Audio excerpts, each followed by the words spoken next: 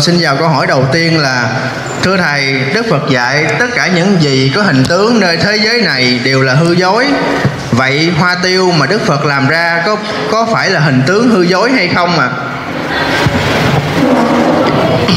Cái đó không phải là hình tướng đó là cái biểu tượng để mình đi theo. Hình tướng gọi là thấy hình này, hình kia, mới gọi là hình tướng. Chứ bây giờ ông phật dẫn mà mình trung ấm thân bình bằng điện, mà ống bằng điện, bây giờ phân thân vô bằng điện từ quan ông không dám phân thân vô được đâu. Mà chỉ ông làm qua tiêu mượn cái cái điện từ dương ở trong trái đất này để mà dẫn mình đi cái đó không phải hình tướng. Đó là phương tiện phương tiện để để ta dẫn mình về vào trung tâm vận hành luân hồi chứ không phải là hình tướng. Hình tướng có nghĩa là thấy hình thánh này phật kia mới gọi là hình tướng. Rồi câu hỏi tiếp. Dạ, câu câu tiếp theo là xin thầy giải hết cho con bốn câu kệ của thiền gia Chánh Huệ Phong có ghi rằng là mong rằng ai có duyên cao vượt qua hàng rào của hải chiều âm, phải nên nghiên cứu âm thầm, không để bị lầm của bọn quỷ ma. Cái câu này nó chỉ kết thúc là cái câu số 4 thôi. Tất nhiên là Tránh Huệ Phong sợ mình lầm cái vấn đề mà có hình tướng đó. Vì tới đáp này thì mình phải hiểu thế này nè. Về tâm linh là vị thần. Mà vị thần thành lập cái tâm linh, Sau khi trái đất ổn định được 3.000 năm, Khi bị quý diệt, sau 7.000 năm một vị toàn năng toàn giác ra đời để dạy đạo Phật Thiền Tông và năm năm pháp môn nữa. Vì thế mà khi mà khi Đức Phật nhập Niết Bàn thì những cái tâm linh kia, Người ta không xài, Mà ta xài cái Cái đám thánh ra đằng sau này, Thế lập tôn giáo, sợ nhất cái này. Ông Chánh Huệ Phong muốn nói ý cái này nè. Có nghĩa là sau Đức Phật Thích Ca nhập Niết Bàn thì hoàn toàn tất cả đều là, mình phải coi chừng. Những cái gì tâm linh sau Đức Phật Thích Ca sẽ coi chừng. Kể cả cái chùa của Đức Phật Thích Ca dạy cũng coi chừng vì Đức Phật không còn quản lý cái này nữa. Thì ông về Phật giới, về sau trái đất này, năm loài sống chung, loài thần không xen vào. Về sau này loài thần không xen vào tâm linh nữa, mà chỉ cái loài thánh mới xen vào thôi. Mình chú ý cái lời thánh này. Ông chánh về phong muốn nói, bởi vì đừng đừng để lầm của bọn quỷ ma. Là cái gì? Thánh hay lại thì ông muốn nói rõ vậy đó, nhưng mà mình có không biết. Gì mà đây ta nói là đừng có lầm những vị này. Nó cái câu này tuy là bốn câu nhưng mà kết thúc sử dụng hai câu này. Hai, một câu chót này thôi. Rồi câu hỏi tiếp. Dạ câu hỏi tiếp theo là xin bác uh, giúp dùm con là trước khi mà con tu thiền tông á, thì trí nhớ con rất tốt. Nhưng mà từ khi mà tu thiền tông đến nay á con càng ngày con càng trí nhớ nó không còn nhớ nhiều như ngày xưa. Như vậy là con bị hiện tượng nó như thế nào? Ngày xưa vật lý cái cái cái cái cái thân tứ đại mình là gọi là nó hình thù hình hình thành ra cái tánh người gọi là tánh vật lý. Nó hình thành bằng cấu tạo bằng điện từ âm dương vì thế mà mình cứ thu vô hoài thì cái gì cũng nhớ hết. Bây giờ tu thiền tông rồi tập, không có nhớ nữa là sao? Nó không vô nữa là thì nó sẽ quên. Nếu mà vị nào tu được cái đó thì rất tốt. Nhưng mà có một điều, nếu không thì làm ơn, làm cái gì? Lập cái ờ, cái biểu đồ cho làm hàng ngày đó. Là gì? Vì mình quên mà còn nếu mình đem vô thì phải nhớ mà đỡ nhớ thì mình nên nhớ rằng nó đi trong cái thế giới này nó không thoát ra được. Vì thế mà quên thì thôi ngày đó mình làm gì mình lên cái bảng cái bảng để mình à, mấy giờ làm gì gì cho nó nhớ nó khỏe hơn. Cái này nhớ bằng cái ngoại cảnh không nhớ bằng cái cái tánh của mình vì tánh của mình mà nhớ thì nó đi theo dòng luân hồi. Cái bản nó đi ra luân hồi kệ đó nó không ăn thua gì đến mình. Thì cố gắng tập cái này. Khi tu thiền tông rồi phải tập nhớ làm cái biểu đồ sinh hoạt hàng ngày. À, làm bất cứ việc gì nó cũng phải có cái biểu đồ hết. Rồi con hỏi tiếp. Câu tiếp theo là người tu thiền tông khi về già lớn tuổi có bị lẫn hay không? Tu thiền tông người già này sáng suốt hoàn toàn, không có lẫn chỉ trừ trật ví, tu trật lý mà nhớ này nhớ kia là chắc chắn bị lẫn còn này nó sáng suốt. Nó nhớ là nó sáng suốt, nó hơi chậm nhưng mà nó sáng suốt. Không làm bất cứ cái gì. Phải chú ý cái phần này. Thiền tông nó có cái yếu điểm này.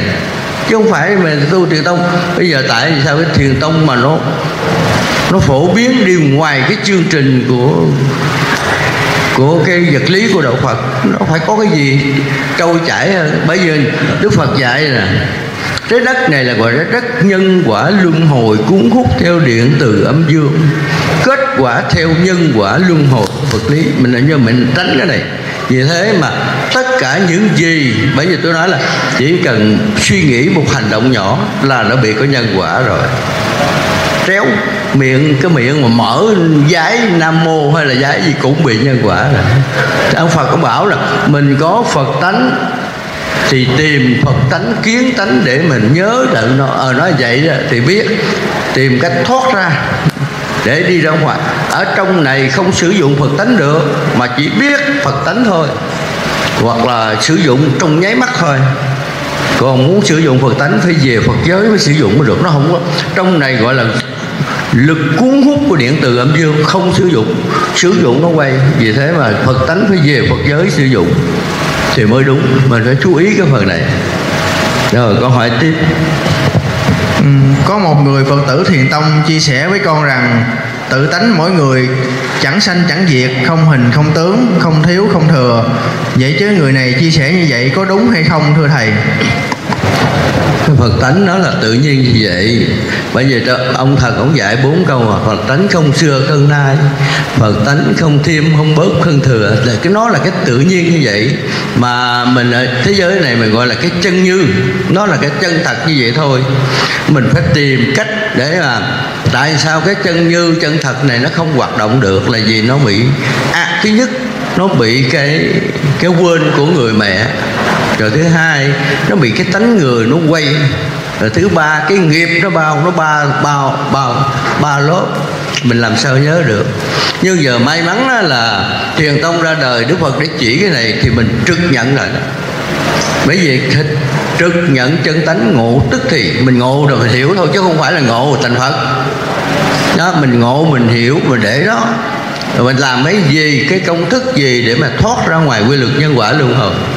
Đạo phật thiền tông là chỉ mục mục đích là muốn chỉ này muốn phân tích được ba phần. Phước đức dương phước đức âm và công đức. Phải hiểu nguyên tắc ba cái này thì mới tu thiền tông được. Rồi con hỏi tiếp. Ừ, câu hỏi tiếp theo là xin thầy giải thích cho con pháp quán tứ niệm xứ là như thế nào? Mà tại sao thầy thích nhật từ cho rằng tứ niệm xứ là mật tông của phật là đúng nhất và chơi bai pháp môn tịnh độ và thiền tông? Tứ niệm xứ là bốn thứ. Nếu nói về quá thân người là đất nước gió lửa là gì? Mà cái tứ niệm xứ tu á, là cái đầu tiên.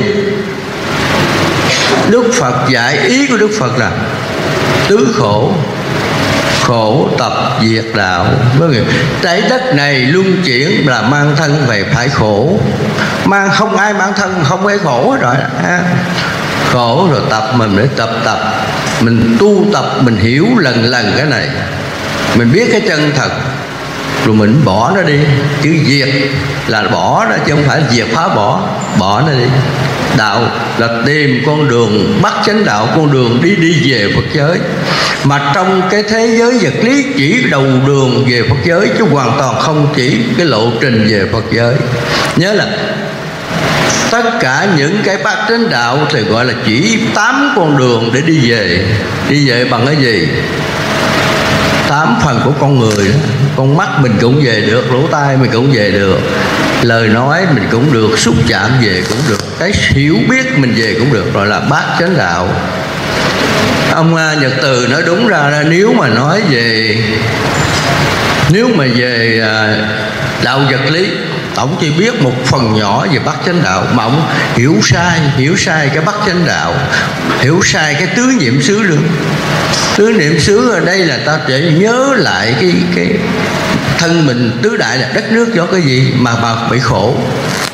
Tại không hiểu cái quy tắc, một người nào mà tu được, tu theo đạo Phật thì hiểu được công thức cái trái đất này, hiểu quy luật nhân quả trái đất này và hiểu cái tứ khổ, tứ khổ trái đất này thì mới mong thoát ra được cái này. Đây là cái phương tiện. Ngày xưa đức phật này dạy câu tứ niệm xứ nói tứ niệm xứ là ta dạy các ông giống như ngón tay chỉ mặt trăng. Mà ông phải nhìn cái mặt trăng đừng nhìn ngón tay của ta. Nhưng mà, nhưng mà ông, ông Việt Từ ông không hiểu cái này. Ông có, tuy là có bằng tiến sĩ thiệt đó nhưng mà sự thật căn bản đạo Phật ông ông không rõ. Căn bản đạo Phật hoàn toàn không hiểu. Vì thế vậy thế tôi nói cái chỗ này nè tại sao ông thích nhật từ ông nói là à, Phật với là 10 tỷ năm nó mới ra đời. Nói chuyện tầm bậy không? 10 tỷ năm mà bây giờ hỏi chứ bây giờ trong kinh pháp bao đàn đức đức tổ huệ năng dạy, dạy 28 đời phật quá khứ. Không lẽ 28 lần cái tỷ này, 10 tỷ năm? Rồi làm sao ai ý được? Có nghĩa là trong thời gian ngắn thôi có nghĩa là 28 là có thể là 28 lần 10 ngàn 10 ngàn năm. Chứ không phải là tại vì người ta không hiểu cái nguyên tắc này. Thành ra muốn nói vậy thôi. Vì thế mà ông nói đầu đuôi nói trước sau trật. Đầu đầu ông nói với lạc 10 tỷ rồi chút ông nói à, 8 tỷ rồi 5 tỷ.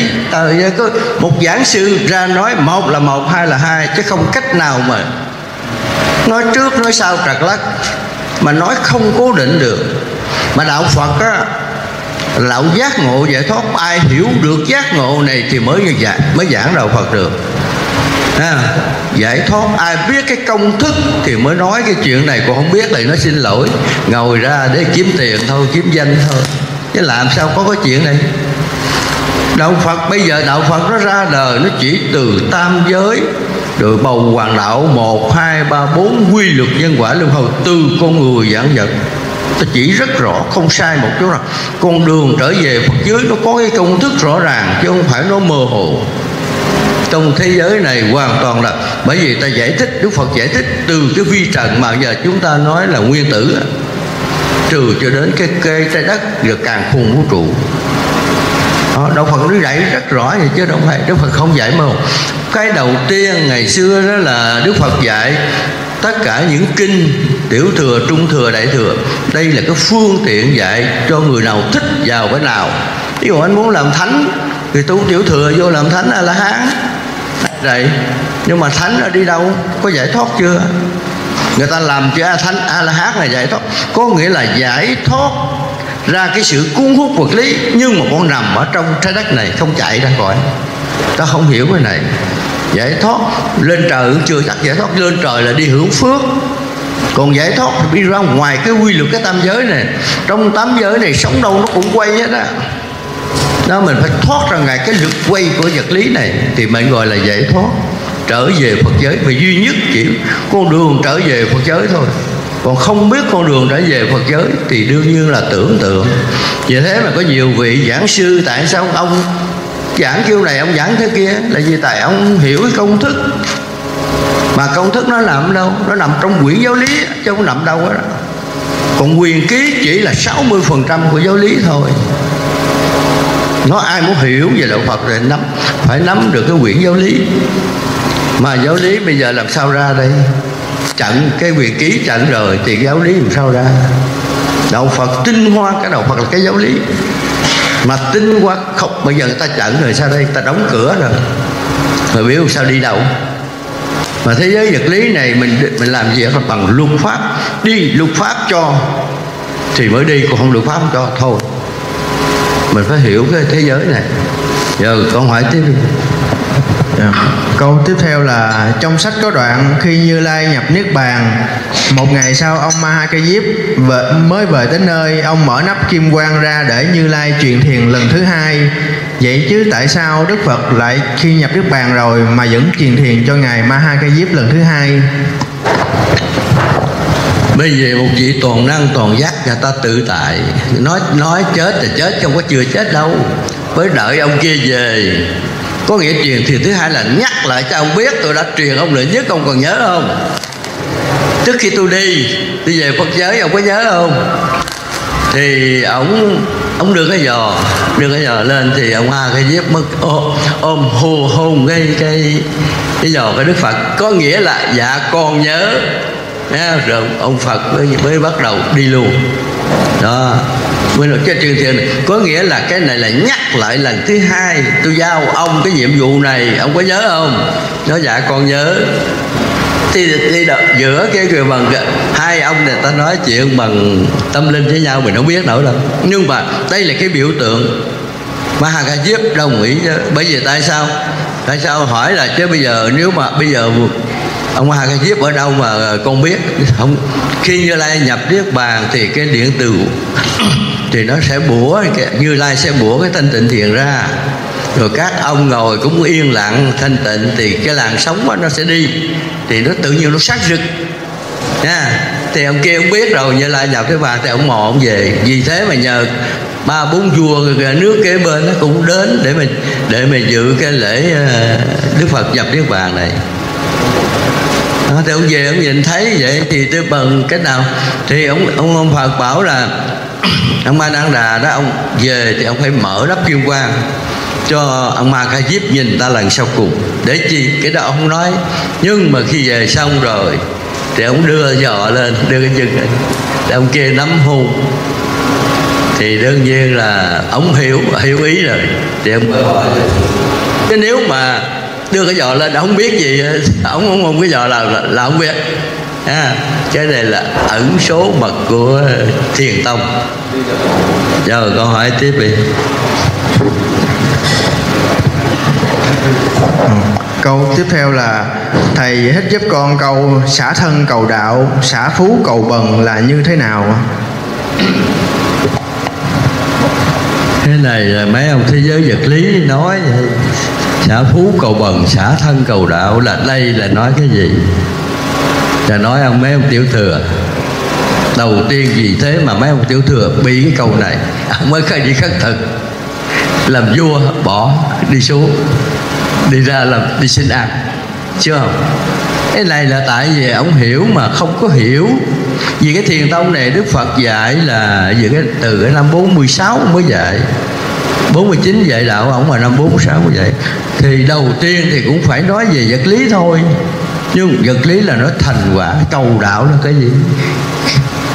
Cầu cái đạo chánh pháp nhưng mà cái chánh pháp lúc đó có dạy không? Đức phật hoàn toàn không dạy. Mà mà phải lưu lại hai ngàn năm trăm sáu mươi mấy năm mới dạy. Đó. Còn cái kia là cầu đạo. Đạo gì? Có. A la hán cũng là đạo. Đại thừa, trung thừa cũng là đạo. Niệm phật, niệm chú cũng là đạo. Người ta không có hiểu cái này. Đây là những cái văn thư ngày xưa ta nói để ta tìm cái này nhưng mà nói đúng ra, nếu mà từ khi đức phật thích ca nhập trước bàn tới giờ, hoàn toàn không ai dạy giải thoát. Mà chỉ cúng tụng thôi, hoàn toàn dạy giải thoát. Còn những ông nói là kêu ông nói gương chơi cho vui thôi, hoàn toàn không ai cho nói. Bây giờ mình điển hình việt nam mình giờ mấy chục ngàn ngôi chùa hỏi chứ có chùa nào dạy giải thoát? Chùa nào giống như chùa đấy bây giờ ra truyền tông ra đời ở cái chùa nhỏ xíu vậy thì để nói lại thôi. Chờ thời gian ngắn rồi thôi dẹp chứ không có cái chùa đâu có tồn tại lâu đâu. Vì trong thế giới vật lý này, cái chùa này không tồn tại được. Nếu tồn tại thì thế giới vật lý phải dẹp. Vì thế mà trong này một, cái kia nó hàng triệu thì cái này phải dẹp. Nhưng mà tới ngày là cái, tới ngày nào ổn định, ông phật cũng ấn định giống như ông cho phổ biến này ra, nó cũng ấn định ngày giờ dẹp cái này cũng ấn định ngày giờ. Thì cố gắng, nếu mà ai mà cứ cố gắng hiểu được công thức này. Còn nếu mà qua cái công thức này rồi thì đi tìm, không ai biết chỉ trừ trường hợp là bắt đầu tìm lại sách báo cũ ngày xưa thôi. Để được. Theo đó thôi. Thì còn cố gắng. Thứ nhất, những người mà tu theo cái này là nên nhớ là cái cái lời dặn dò phải nhớ cho kỹ. Thứ nhất, những cái công thức mà tu thiền tông phải nhớ cho kỹ. Nữa về sau chỉ sống cái này thôi. Cái chùa này không có không có tồn tại lâu. Tôi nói thật. Rồi, câu hỏi tiếp đi câu tiếp theo là luân hồi là luân chuyển được hồi là trở về chỗ cũ. Vậy chứ phật tánh đầu tiên ở trong phật giới à, nếu theo quy luật luân hồi thì cuối cùng cũng trở về phật giới. Con hiểu như vậy thì có đúng hay không thưa thầy? Mục đích đầu tiên á, là phật tánh. Ở bên phật giới thì nhỏ quá thì thấy mấy ông phật to quá. Giờ muốn làm sao kia có cái kim thân phật to như quý ngài thì nó muốn vậy vô trong mượn thân người đi thân người đó mới tạo công đức được. Vô đó tạo công đức về đây thì điện từ quan mới chiếu vào mới định hình ở ngôi nhà pháp thân thanh tịnh từ ngôi nhà pháp thân tinh tịnh, một kim thân phật đi ra, rồi tánh phật ẩn vào đó, mang một kim thân phật. Đó vậy thôi. Thì à, nói đúng ra, tánh phật á, nói tánh phật khinh thường tinh thường nhân quả, vật lý của trái đất và tam giới này. Nên mới nhào vô nhào vô. Rồi sao? Vô thì à, trưởng dòng tộc cũng có nói rồi, nhưng mà vô nhào vô mẹ, rồi sao? Mẹ có cái phòng ngủ, quên hết. Mẹ có phòng ngủ, quên hết. Rồi mất trong phòng ngủ, vừa ngủ rồi nó quay, rồi cái tánh người nó quay theo. 16 thứ ra 16 thứ, không có nhớ cái vụ ờ, công trở về Phật giới mà nhớ gì? Nhớ nhà nhà lầu, xã hơi không, chứ đâu có chủ nhớ trở về rồi rồi còn rồi còn đã vậy còn nhớ nữa mía danh nữa, rồi nhớ tiền nữa, rồi nhớ đất, nhớ đại rồi sao sao về. Đó, rồi thì nó tạo cái nhà cửa, đất đai, ruộng vườn nó đầy ắp. Đó là cái nghiệp của mình. Rồi làm sao? Mình phải mang. Nghiệp mình phải mang. Rồi còn cái chuyện kia, không nhớ. Rồi đời này, đời nọ. Cứ một cứ ờ, mình tính trăm năm một đời đi, rồi biết mang bao nhiêu đời rồi bao nhiêu lớp bây giờ sầm nhớ rồi giờ thiền tông nó ra đời, nó nó làm cái bom nổ để chi nó nhớ lại. Ai muốn nhớ nhớ nhớ thôi. Thiền tông ra đời là một cái bom nổ lại để cho nhớ. Hồi đó nhớ không? Nhớ phật giới vô đây. Mượn thân người tạo công đức nhớ không? Nó không? Tôi nhớ bà châu đốc rồi chứ tôi không nhớ. Tôi không nhớ về phật giới rồi sao? Rồi tôi nhớ cái chùa to thôi. Tôi nhớ ông thầy giảng hay thôi chứ tôi đâu có nhớ gì bên kia. Nếu giảng hay thì đi kiếm ông thầy. Nhớ bà châu đốc xuống bà châu đốc lại. Rồi sao đây? Rồi nhớ cái miễu nào linh thì tới thôi. Chống chịu nhớ mình. Bởi vậy đức phật trong kinh diệu pháp liên hoa mà ba anh cùng tử ờ ông già quá mà ông đi sinh ông già quá đi lại người ta xin. Thấy không? ông phật đã cảnh tỉnh mình mình không hiểu thôi thì bây giờ tôi phải chịu? Khó lắm. Vô đây quy luật nhân quả luân hồi khó mà khó mà mở đó nó đã nhuộm mà. Nó vô đây cái một đời nó quét mình một lần đi mà một triệu đời cho nó quét một, triệu, một triệu lớn làm sao nhớ? Mà mai là cái trái bom à, trái bom thiền tông nó nổ. Mặt nó xé toạc ra được một chút mà còn không chịu ngó à thôi. Nếu không cho đóng nữa đi nữa. Rồi câu hỏi tiếp dạ, câu hỏi tiếp theo. Con rất con rất thích xem bóng đá. Khi có đội tuyển Việt Nam thi đấu trong lúc uh, xem không tránh khỏi vui mừng và cổ vũ cho đội tuyển Việt Nam chiến thắng. Vậy con đã dính mắt nhưng con rất ham muốn tạo công đức. Thì con có về được Phật giới hay không? Bóng đá cải lương không thành vấn đề. Thế giới vật lý cái vui chơi không sao đây, tôi nghe hồi nãy ông này nó buông đau thành phật, tay đồ tể có nghĩa là làm sao mình cái thiền tông mình phải hiểu rõ thế nào nè. Thiền tông khi nào khi nào mà ông thần quản lý mình á, ông sợ mình á, thì ông thả mình ra. Thì mình đi ra, có vậy thôi. Khỏi cần, muốn xem bóng đá, bóng truyền cái gì không thành vấn đề. Nhưng mà phải tạo công đức nhớ cái công đức là làm cho ông thần ông sợ. Gọi là trong kinh gọi là đức trọng quỷ thần kinh. Quỷ là quỷ là ai? Mấy ông cô hồn đó. Thần là cái ông quản lý ông sợ mình ông thả mình thì muốn đi về. Rồi mình muốn coi bóng đá bóng đạp bóng chạy gì cũng không thành gì không thành vấn đề à, đừng có quan tâm. Thế giới vật lý này có gì xài nấy muốn đi du lịch đâu cũng được. Nhưng mà phải có công đức. À, chứ đừng có nói mà đi rồi không có chút công đức mà khi chết về rồi đi kiếm mấy ông thầy tụng đi về đó. Ổng chưa đi à. ổng chưa đi được mà mình nó nhờ ổng sao? Thân ổng ông chưa lo mà mình mình nhờ thông ảnh là mình mình gọi là mê bụi á. Phải hiểu. Bởi vì đạo phật tiền tông tu thì phải sáng suốt, trí tuệ, phân tích cho rõ ràng. Chứ đừng có tin mù. Tiền tông không chấp nhận tin mù rồi, câu hỏi tiếp. Những loài kiến muỗi gián ruồi, con mọt vân vân không thuộc vào à, sáu loài sống chung trong trái đất này hay sao mà con chưa nghe thầy nói đến một con người tạo nghiệp gì mà được đọa vào những loài côn trùng như thế? Nó đó là tội về súc sanh. Giống như điện mình à mình đừng có tưởng vô súc sanh là làm trâu bò, mình làm lớn không phải vậy. Có nghĩa là anh tạo bằng nghiệp điện rồi. Thì điện nó mà nó thấp nó thấp cái cái bóng sáng này nó sáng. Nó thấp cái đèn led nó cũng phải chịu đèn led vậy, phải không? Cái này do cái nghiệp vào cái loài đó, là tự nó phần tự cái cái cái cái nghiệp của người ta. Vì tại sao mà người ta nói là đi vào cái loài thực vật hàng mấy tỷ năm? Hoặc đi vào đụng vật như vậy. Nó từ lớn xuống nhỏ, nó quy, nó vô đó, nó theo cái quy luật luân hồi của nó. Chứ không phải là bạn muốn vô đầu tiên giết con trâu, làm trâu còn còn lâu. Trong con trâu nó còn con gì nữa? Con rận, con chí nên nó nằm ở gì nó đủ hết chứ đâu ấy. Rồi phải đi luân hồi. Vì thế mà nếu mà nói về luân hồi của thực vật và động vật khủng khiếp lắm. Vì thế mà đức phật chỉ nói căn bản cho mình hiểu thôi chứ còn đi tìm hiểu chi cho nhiều. Ví dụ hồ điện, bây giờ văn minh rồi, mình nói điện à cái bóng trăm watt à, mười watt hai chục watt rồi có đèn led cái gì? Chưa tới một watt rồi sao? Nó theo cái dòng nó, cái dòng luân hồi của nó là vậy. Thì đây người ta nói về căn bản lớn thôi, chứ còn có chi ti giống như đức phật có những cái gì mà đức phật nói ra giống như nắm lá trong tay.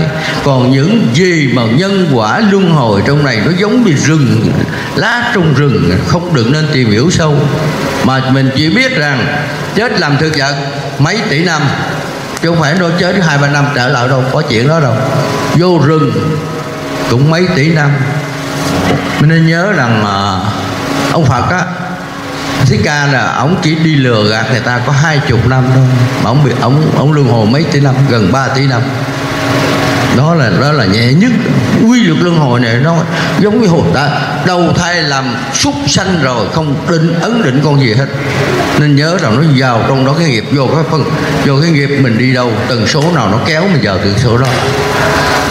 Chứ không phải nói là đầu thai con mình lớn rồi mình đậu thai con trâu bò không phải coi vậy đâu vô đó, nó hết rồi, nó còn nữa. Nó đi một vòng là mấy tỷ năm chứ không ít đâu. Rồi, câu hỏi tiếp. Từ khi con theo pháp môn thiền tông, dường như công việc buôn bán của con rất ế ẩm. Có phải là do con đang buông, hay do cái nghiệp nhiều đời trước của con ít phước, hay do loài sống ngoài nhân quả nó phá con xin thầy giải thích? Là từ khi con biết pháp môn thiền tông, việc buôn bán của con rất ghê ẩm. Rất ế ẩm, có phải là do con đang buông hay do cái nghiệp nhiều đời trước của con ít phước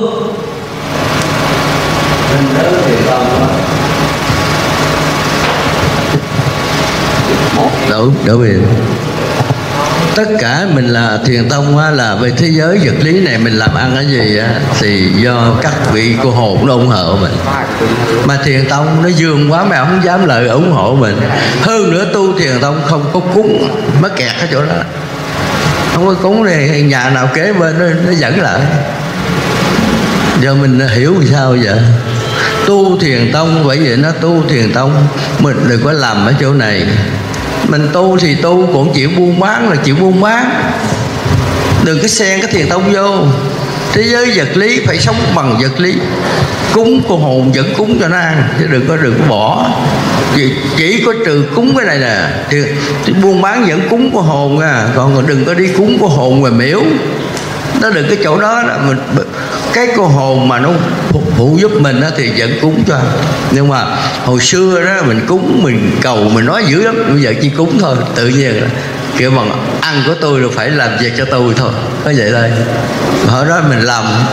Bây giờ thiếu thiền tông á, nói thật á là nó đỡ một trăm phần trăm luôn. Hồi xưa mình nghe ai nói gì cũng cũng tin. Ai, ai biểu cúng gì cũng cúng ai biểu lại gì cũng lại. Mà bây giờ mình hiểu rồi thôi mình bỏ hết cái này. Nhưng mà còn dướng một cái là mình làm ăn thì với ông cô hồn thì mình phải làm ơn phải làm tròn với với cô hồn. Đó, thì bây giờ thì mình dọn hàng quán rồi mình đưa ra mấy cái bánh mà gì mình cho ăn thì đâu có sao đâu. Hồi xưa mình cúng mình khẩn mình đưa ra là nhiệm vụ ông phải làm nên nhớ một điều. Ăn ăn của chúa phải múa tối ngày mình cho người ta ăn thì nó phải tự nhiên ta phải làm. Cái chuyện đó bình thường. Mình chuẩn quá lại cái vấn đề cúng chứ không phải là không ấy. Thiền tông là duy nhất chỉ cúng, mình làm ăn là cúng của hồn. Hồi xưa mình không hiểu rồi cái gì mình cũng cúng. Nghe ai nói gì mình cũng làm. Bây giờ mình mình chỉ hiểu rồi, mình chỉ làm một phần nhỏ mà mà khi nào mình có liên hệ với người ta thôi, còn liên hệ thôi, khỏi cúng. Ví dụ mình đi làm công chức đi, tháng 10 triệu 7 triệu, cúng cũng nhiều đó ông cúng cũng nhiều đó. Thì mình hiểu vậy.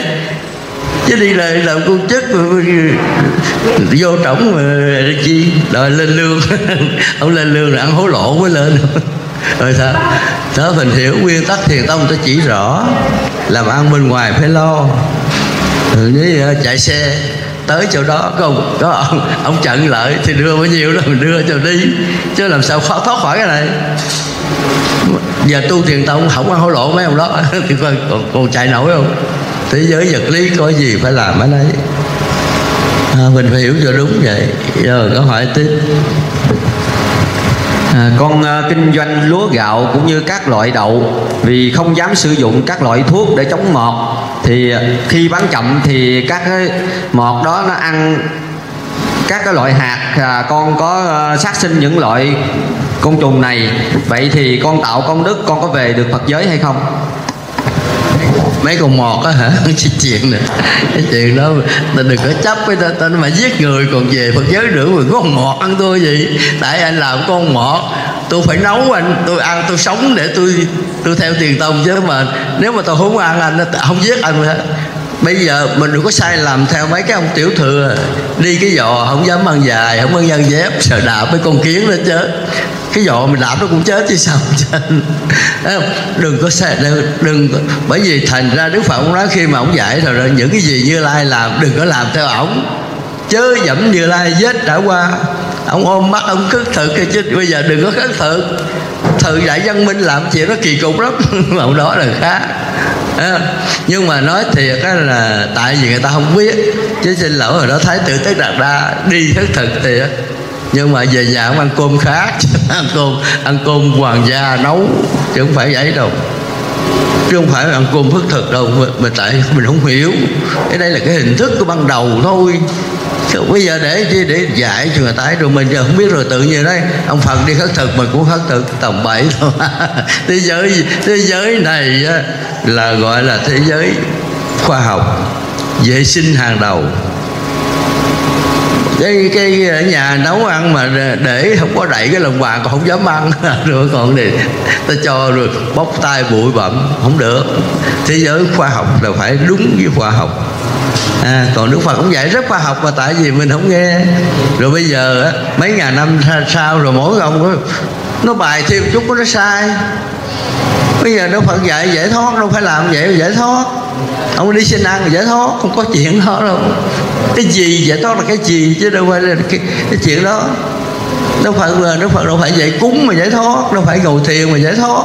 Nói chuyện về thoát là mấy ông thánh vừa ngồi thiền mấy ông thánh tới rồi ông hiện ra ông phật rồi dẫn đi rồi.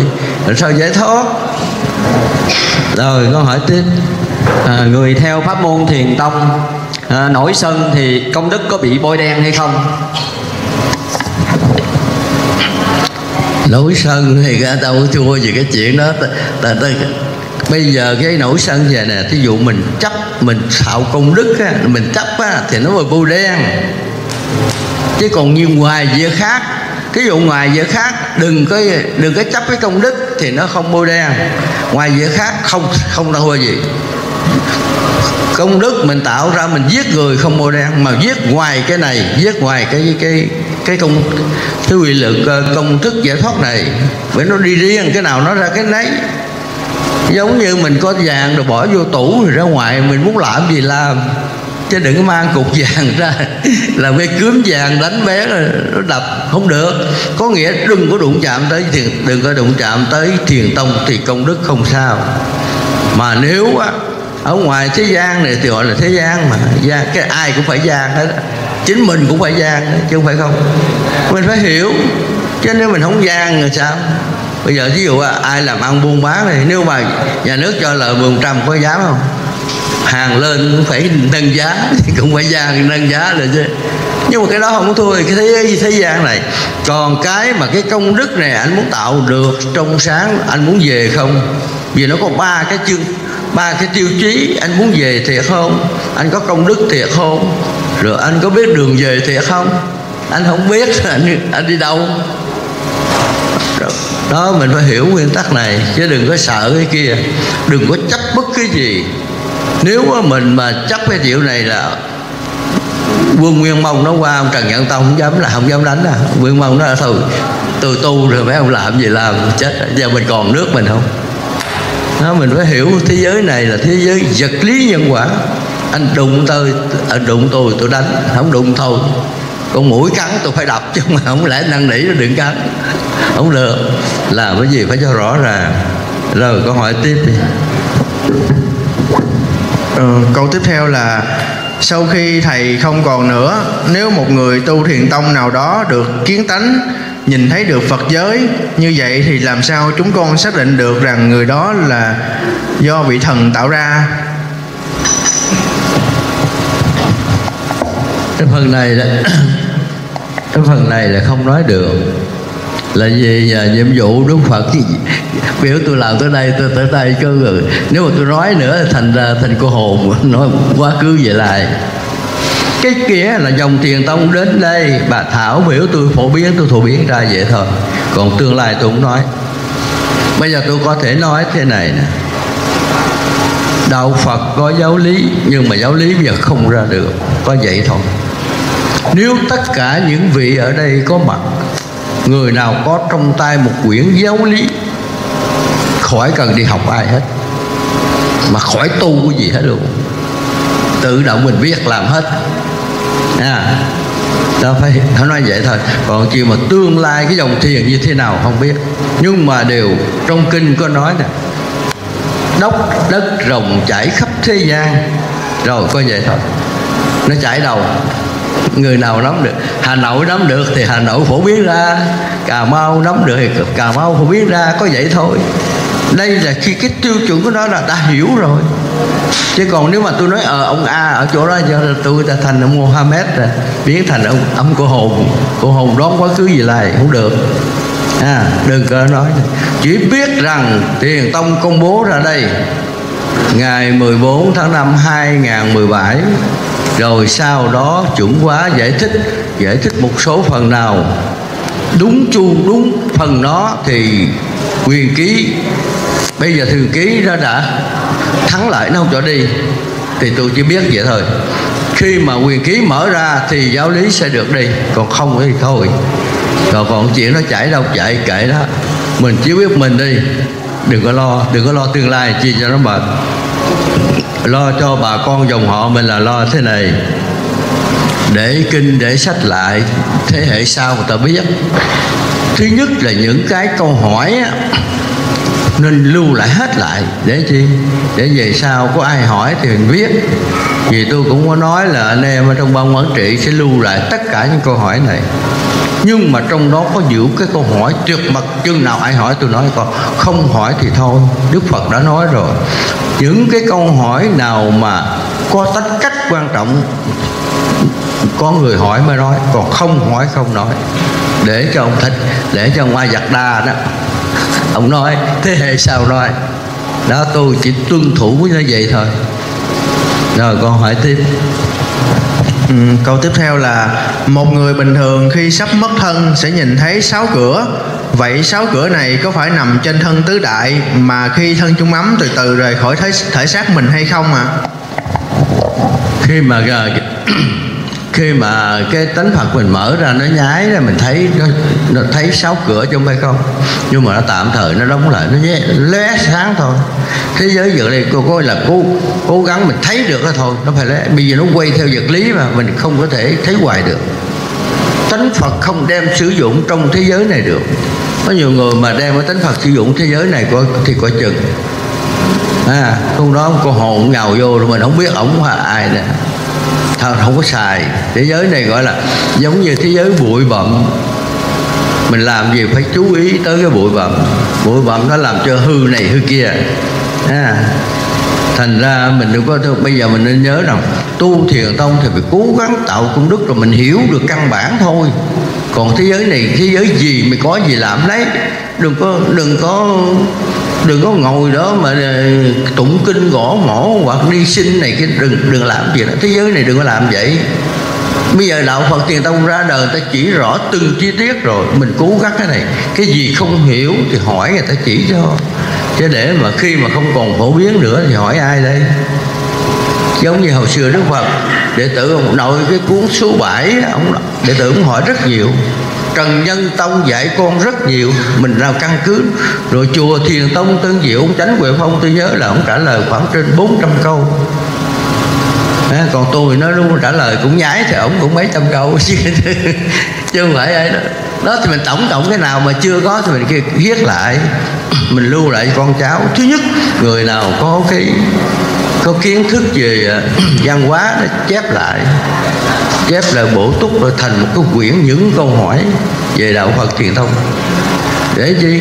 Mình có thể xuất bản ra để giúp cho người khác. Chứ còn tôi nói thì hỏi này hỏi chung, nhưng mà nói nó nó tổng quát, nhưng mà mình viết là mình cô độc mình hiểu được, mình phân tích. Nếu phân tích mà nếu không không tích, không chắc ăn, đem ở đó tôi duyệt tôi duyệt kiểm duyệt cho, tôi kiểm duyệt cho từ câu để cho nó lưu lại cho hậu thế. Chứ thời gian thời gian nó phải đi chứ. Bây giờ tôi 81 tuổi rồi con nó một hai năm nữa thôi chứ. Ngồi nó hoài sao được? Thời gian rất nhanh. À, mình nên nhớ muốn lưu truyền cho hậu thế thì phải vậy. Muốn tạo công đức bằng cách này. Chép hết lại lưu lại rồi viết ra. Nếu mình có khả năng văn học thì cứ viết ra. Đó, để chi? Để cho hậu thế nếu mà về sau mà giáo lý không ra thì mình cũng có căn bản mình về Phật giới. Giáo lý nó ra là lại sao là nó chỉ bằng sự thật. Tất cả những cái gì này, nó chữ chi ly. Còn vật những căn bản người ta đã nói rồi. Con đường về Phật giới người ta đã chỉ cho mình. Còn cái chuyện căn, còn cái nói hỏi thêm là gì để mình trang bị cho cái kiến thức thôi. Chứ không nằm ở trong cái giải thoát.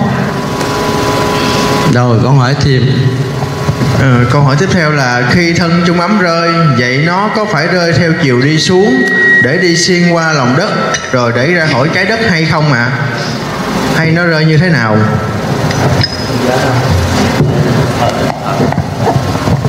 Mình phải nhớ nè, trái đất cái, cái bầu cái trái đất nó tròn đi. Cái vòng tròn nó là hai bốn chục ngàn cây số mà một trăm mấy, nếu mà một trăm mấy chục ngàn cây số đó, là còn cái lực hút. Tuy phi hành gia nó đi qua lực hút hút mạnh của trái đất, chứ sự hút nhẹ vào trong cái bầu hoàng đạo nó vẫn còn. Mình phải phải là đi ra ngoài cái sức hút của trái đất thôi. Trung bấm thân phải rơi rơi ra ngoài chỗ đó đó. Rồi chừng nào ra vừa ra khỏi đó thì qua tiêu dẫn mình vào đó để chi? Để vào mất cái lực, sự hút của vật lý âm dương của trái đất. Thì cái trung ấm thân mới sống được. Còn nếu mà ở đây con người mang thứ tứ đại thì cái quy lực sức hút vật lý nó vẫn mà nó nó mà sát cái cái bào tử mình đó thì mình phải ăn, đói, nó phải đói còn mang cái thân trung ấm thân, cũng cái bao tử của mình nó cũng bằng điện từ âm dương, nó phải ma sát. Vì thế mà nó phải đi ra ngoài sức hút của thế đất. Rồi qua tiêu dẫn đó, rồi ông Phật mới biết là mấy ngày, bao nhiêu ngày, bao ờ, nhiêu giờ nữa thì cái đó nó mới là trung tâm vận hành luân hồi. Đó mới dẫn mình từ đó. Thì vào đó thì tự động thì nó mở ra. Chứ còn không biết mình học tới đó mình không biết. Vì sao? Nó đi qua luôn. Rồi nó quay, trái đất mà nó quay cái này là 365 ngày nó mới trở lại một lần.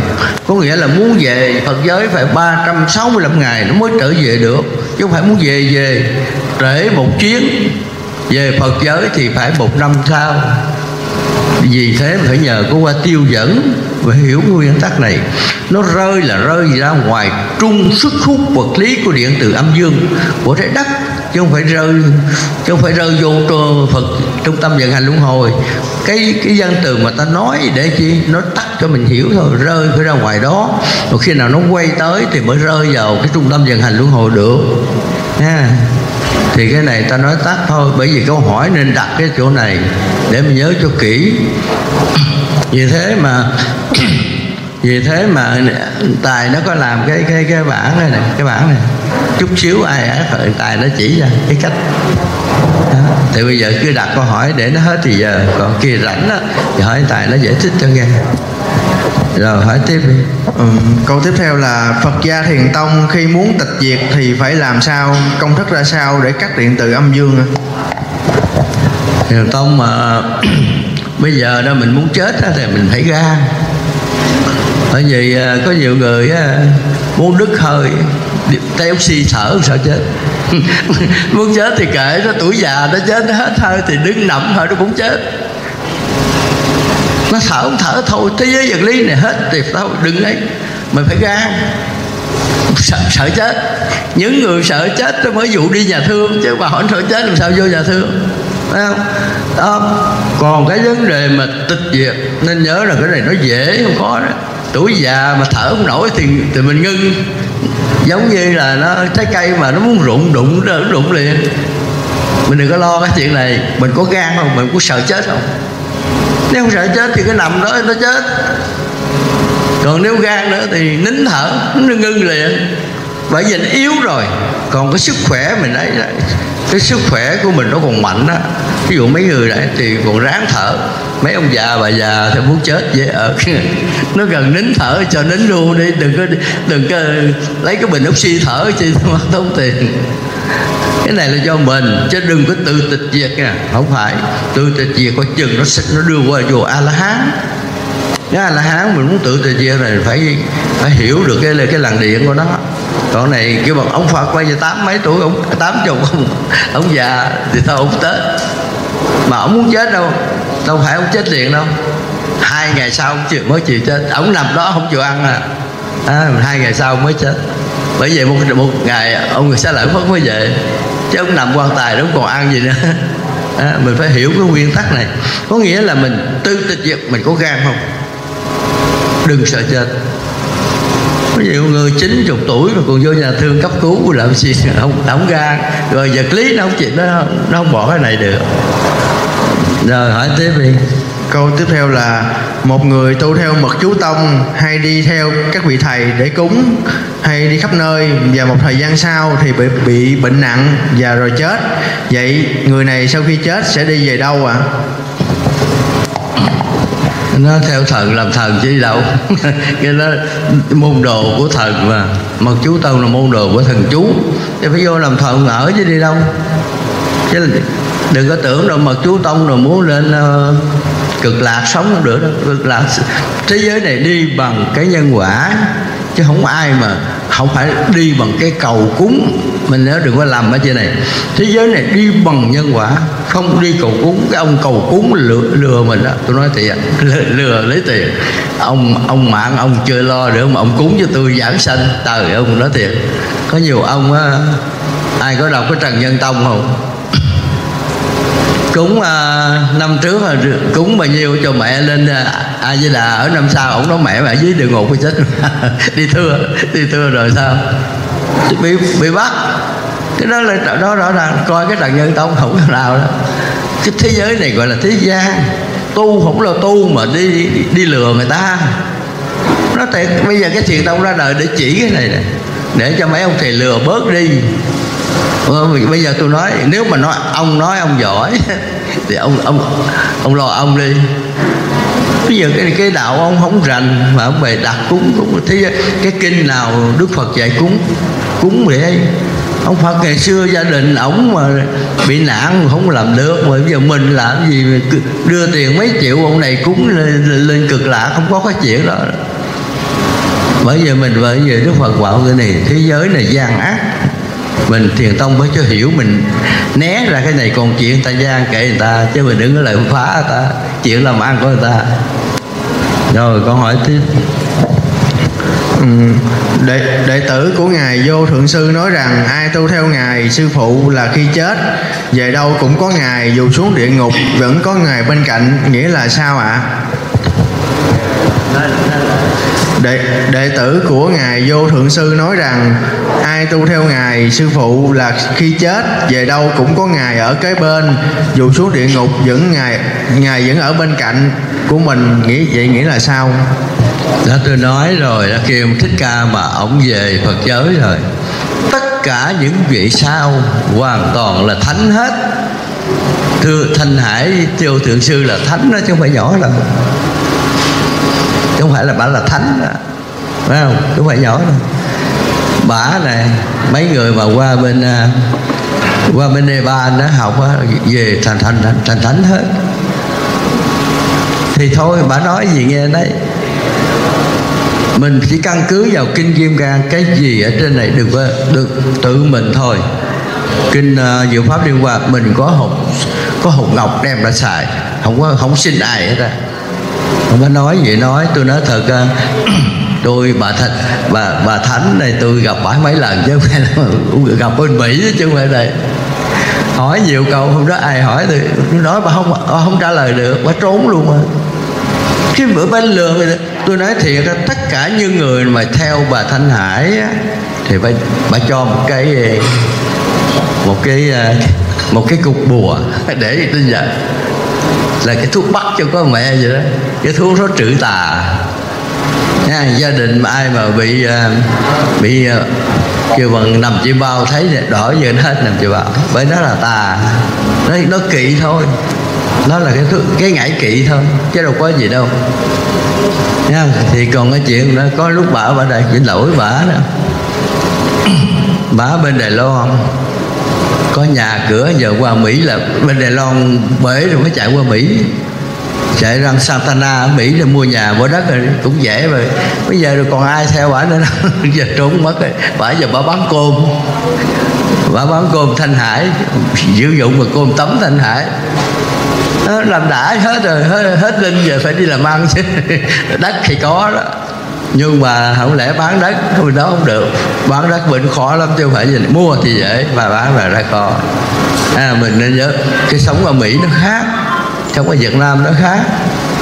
Thì bây giờ hỏi chứ bà còn đi giảng đâu nữa. Có lúc thì bà làm giống như bà bóng. Bà múa tùm lum tà la.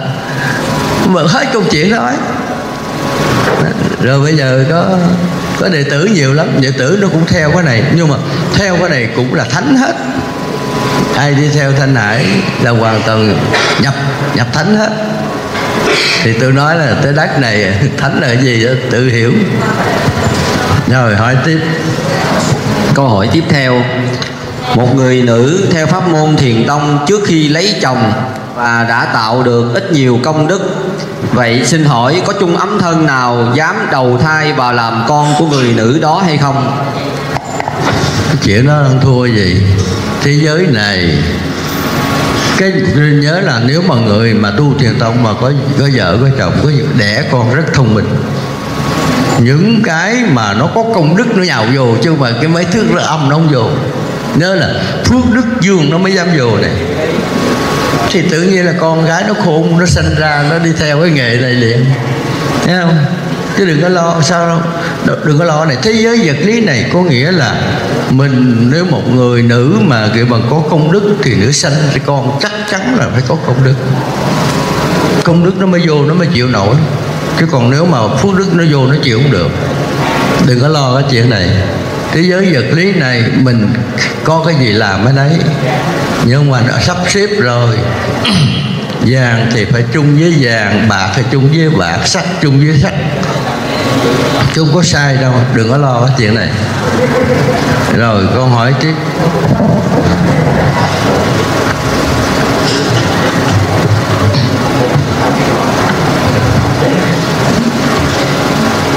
Vậy? Trước đó có người đàn ông nào mà không theo pháp môn thiền tông thì có dám cưới người nữ đó hay không? Người, người đàn ông không theo pháp môn thiền tông thì có dám cưới người nữ đó hay không? Người nữ theo pháp môn thiền tông. Nếu người à, người nữ mà tu thiền tông người chồng cưới thì chắc chắn không ở lâu vì hai thái cực nó không lâu được. Cưới thì vẫn cưới nhưng mà nên nhớ là không ở lâu đó là nó về cái cái theo lực âm dương nó không nó không có có phù hợp. Rồi con hỏi tiếp đi. Vậy khi người đàn ông dám cưới người nữ đó thì họ có âm mưu đen tối gì hay không? không có mưu gì mà nếu mà người nữ gan độ được thì người đó sẽ theo. À, nên nhớ rằng cái lực âm nó mạnh hơn lực dương nó coi vậy. Thì chắc chắn mà người đàn ông ở với người người nữ mà có theo truyền tông thì chắc chắn người đàn ông phải theo. Không cách nào. Thời nữ không cách nào chạy qua cái cái cái cái thế giới vật lý này được. Đừng có lo cái chuyện đó. Rồi, hỏi tiếp. Ờ, có giới hạn trần nào hay sự tương quan nào cho việc giết hại, tối đa bao nhiêu con người và bao nhiêu chúng sinh với việc tạo công đức để đảm bảo chắc chắn là giải thoát được? Bây giờ cái số lượng công đức các bạn, tạo thì mình cứ tạo đi, chứ làm sao mình biết bao nhiêu? Có nhiều khi mình tạo nhiều nó bị vô đen thì cũng không có giá trị gì nhưng mà tạo ít nhưng mà ông thần cũng như giống như. Bây giờ cái điện từ 100 100 một, một ngàn quên đi. Thì mình không dám đụng rồi đúng rồi giờ 100 quên này mà một 100 quên mà mình không bọc cũng đâu dám đụng đâu nó không dám đụng thành ra bắt là mình cứ tạo đừng có bôi đen nhưng mà nên nhớ thế giới vật lý này mình tạo mục đích để mình mục đích là mình đi trở về Phật giới. Thì mình tạo bằng một cách là trung trong sáng thôi. Còn mà nó lỡ mà nó bị bô đen cái để đó không sao. Thì có nhiều người tại vì tại sao là tại vì người ta cái cái tánh người ta nó vẫn nó vẫn là cái tánh người nó nó chấp ngã nó khó nó khó. Khó tạo bây giờ bởi vì ta, mấy người mà vừa tu thiền tông rồi nó được này được kia nó chấp ngã thì nó nó bị bố đen thôi. Dần dần nó sẽ ổn định. Thì công đức nó sẽ sáng. Đừng có lo cái chuyện đó. Khi giờ thế giới vật lý này cứ sống cách bình thường cứ tạo công đức bình thường. Chứ đừng có tưởng tượng gì nhiều á tưởng tượng nhiều á nó nó sai. Rồi câu hỏi. Ví dụ một người như chùm phát xít đức uh, Hitler bị thế giới kết tội là tội phạm của chiến tranh. Và ông đã gián tiếp làm ảnh hưởng đến cái chết của trên 50 triệu người trong chiến tranh thế giới thứ hai. Vậy giả sử ông Hitler này giúp được ba người trở về Phật giới thì ông có được giải thoát hay không? Đã con người có cái, cái ác vậy làm sao biết công đức là gì? Mà thời Hitler là ờ, lời nào? 38 45 nay là 80 năm rồi. Mà lúc đó ai dạy công đức, ai dạy công đức mà hết lê biết là tạo công đức. Công bây giờ là công đức nó mới phát bộ là có mấy năm nay mà hồi đời lê sao biết cái tạo công đức? Cho nên là chuyện rất là tạo ác đức thôi chứ làm sao có cái chuyện này? Không? hỏi cái này nó thừa. Từ hết là bây giờ đời này, 10 năm trước không biết có công đức biết không chứ đừng có nói gì từ cái này là 80 năm về trước. Rồi con hỏi tiếp đi. Về góc độ thiền tông thì mình hiểu sao về trẻ tự kỷ và cộng đồng như ái nam ái nữ? Nên là do cái nhân quả thôi. Mình cứ xếp đau dầu vậy thôi. Chứ còn nếu mà tại vì Cái nghiệp của mình đó là do cái nhân quả Kiếp trước như thế nào, Bây giờ nó là vậy. Ha. Bây giờ nó thúc Những người mà bị tự kỷ là ngày xưa, Tính toán vậy lắm. Bây giờ hơn còn lại vợ trong dòng tộc, Thì cái này đã bộc lộ ra liền đó mình cũng không là mình không cần sâu vào. Cái này nó có có nhiều khi thứ thứ nhất mà tất cả ông Phật bảo tất cả những gì có hiện tượng trên con con người đều là nhân quả hết, không thoát ra. Nhưng cũng như về cũng như là con người đẻ ra dây thần kinh nó dính nhau, thì nó cũng là nhân quả, nó mới dính, chứ không không nhân quả sao dính? Đó, mình phải hiểu cái nguyên tắc. Thế giới này gọi là thế giới nhân quả. Nhưng mà có thể chịu nhân quả được bao nhiêu ngày? Có nhiều người có mấy ngày? Cái tự kỷ vài bữa nó hết có nhiều kể vài năm nó hết có nhiều vài tháng nó hết. Đó là do cái nhân quả. Nếu trong tất cả những người mà tự kỷ á, mà nếu mà ai mà trợ giúp cho người đó, đó tạo được công đức nó sẽ hết. Nhưng mà dưới điều kiện là cái cái chính cái người đó, đó nó không có tiền, nhưng mình cho chín người tiếng đứng bỏ ra làm đi. Thì tự nhiên công đức nó vô, là nó hết nó xóa công đức là âm. Cái cái cái tự kỷ này nó thuộc về nghiệp âm. Nó mới xảy ra như vậy mà đưa cái cái dương lực vô, tự nhiên nó hết. Giống như nhà tối đưa đưa bóng đèn vô, nó sáng như vậy thôi. Mà cái này, nếu mình nói về khoa học, người ta không có tiểu. Người ta nói ờ nhưng mà tại vì chứ tại sao có nhiều người á, cũng bệnh đó nhưng mà được người bác sĩ cứu được. Vì tới cái tuổi cái thời đó người ta có người giúp thì nó xóa được một phần nào. Thế giới này là nhân quả vật lý thì phải sống vật lý. Nhưng mà cái hậu quả nó là do nghiệp. Phải tính tới cái chỗ này khoa học bây giờ nó chứng minh được là cái con người là nó như thế nào nó không giải thích được nhưng mà nó không biết con người như thế nào mà tại sao vậy? Mà chỉ có đức đạo phật mới là nhân quả thôi còn tất cả đạo kia không có nhân quả. Đạo chúa không có nói gì nhân quả. Nha, mà chỉ có đạo Phật nói về nhân quả thôi. Mà mình thấy đạo Phật nói thì nó đúng không phải đúng trăm phần trăm đúng tới chín mươi mấy phần trăm được. Thì thôi mình tin như vậy thôi rồi có hỏi tiếp.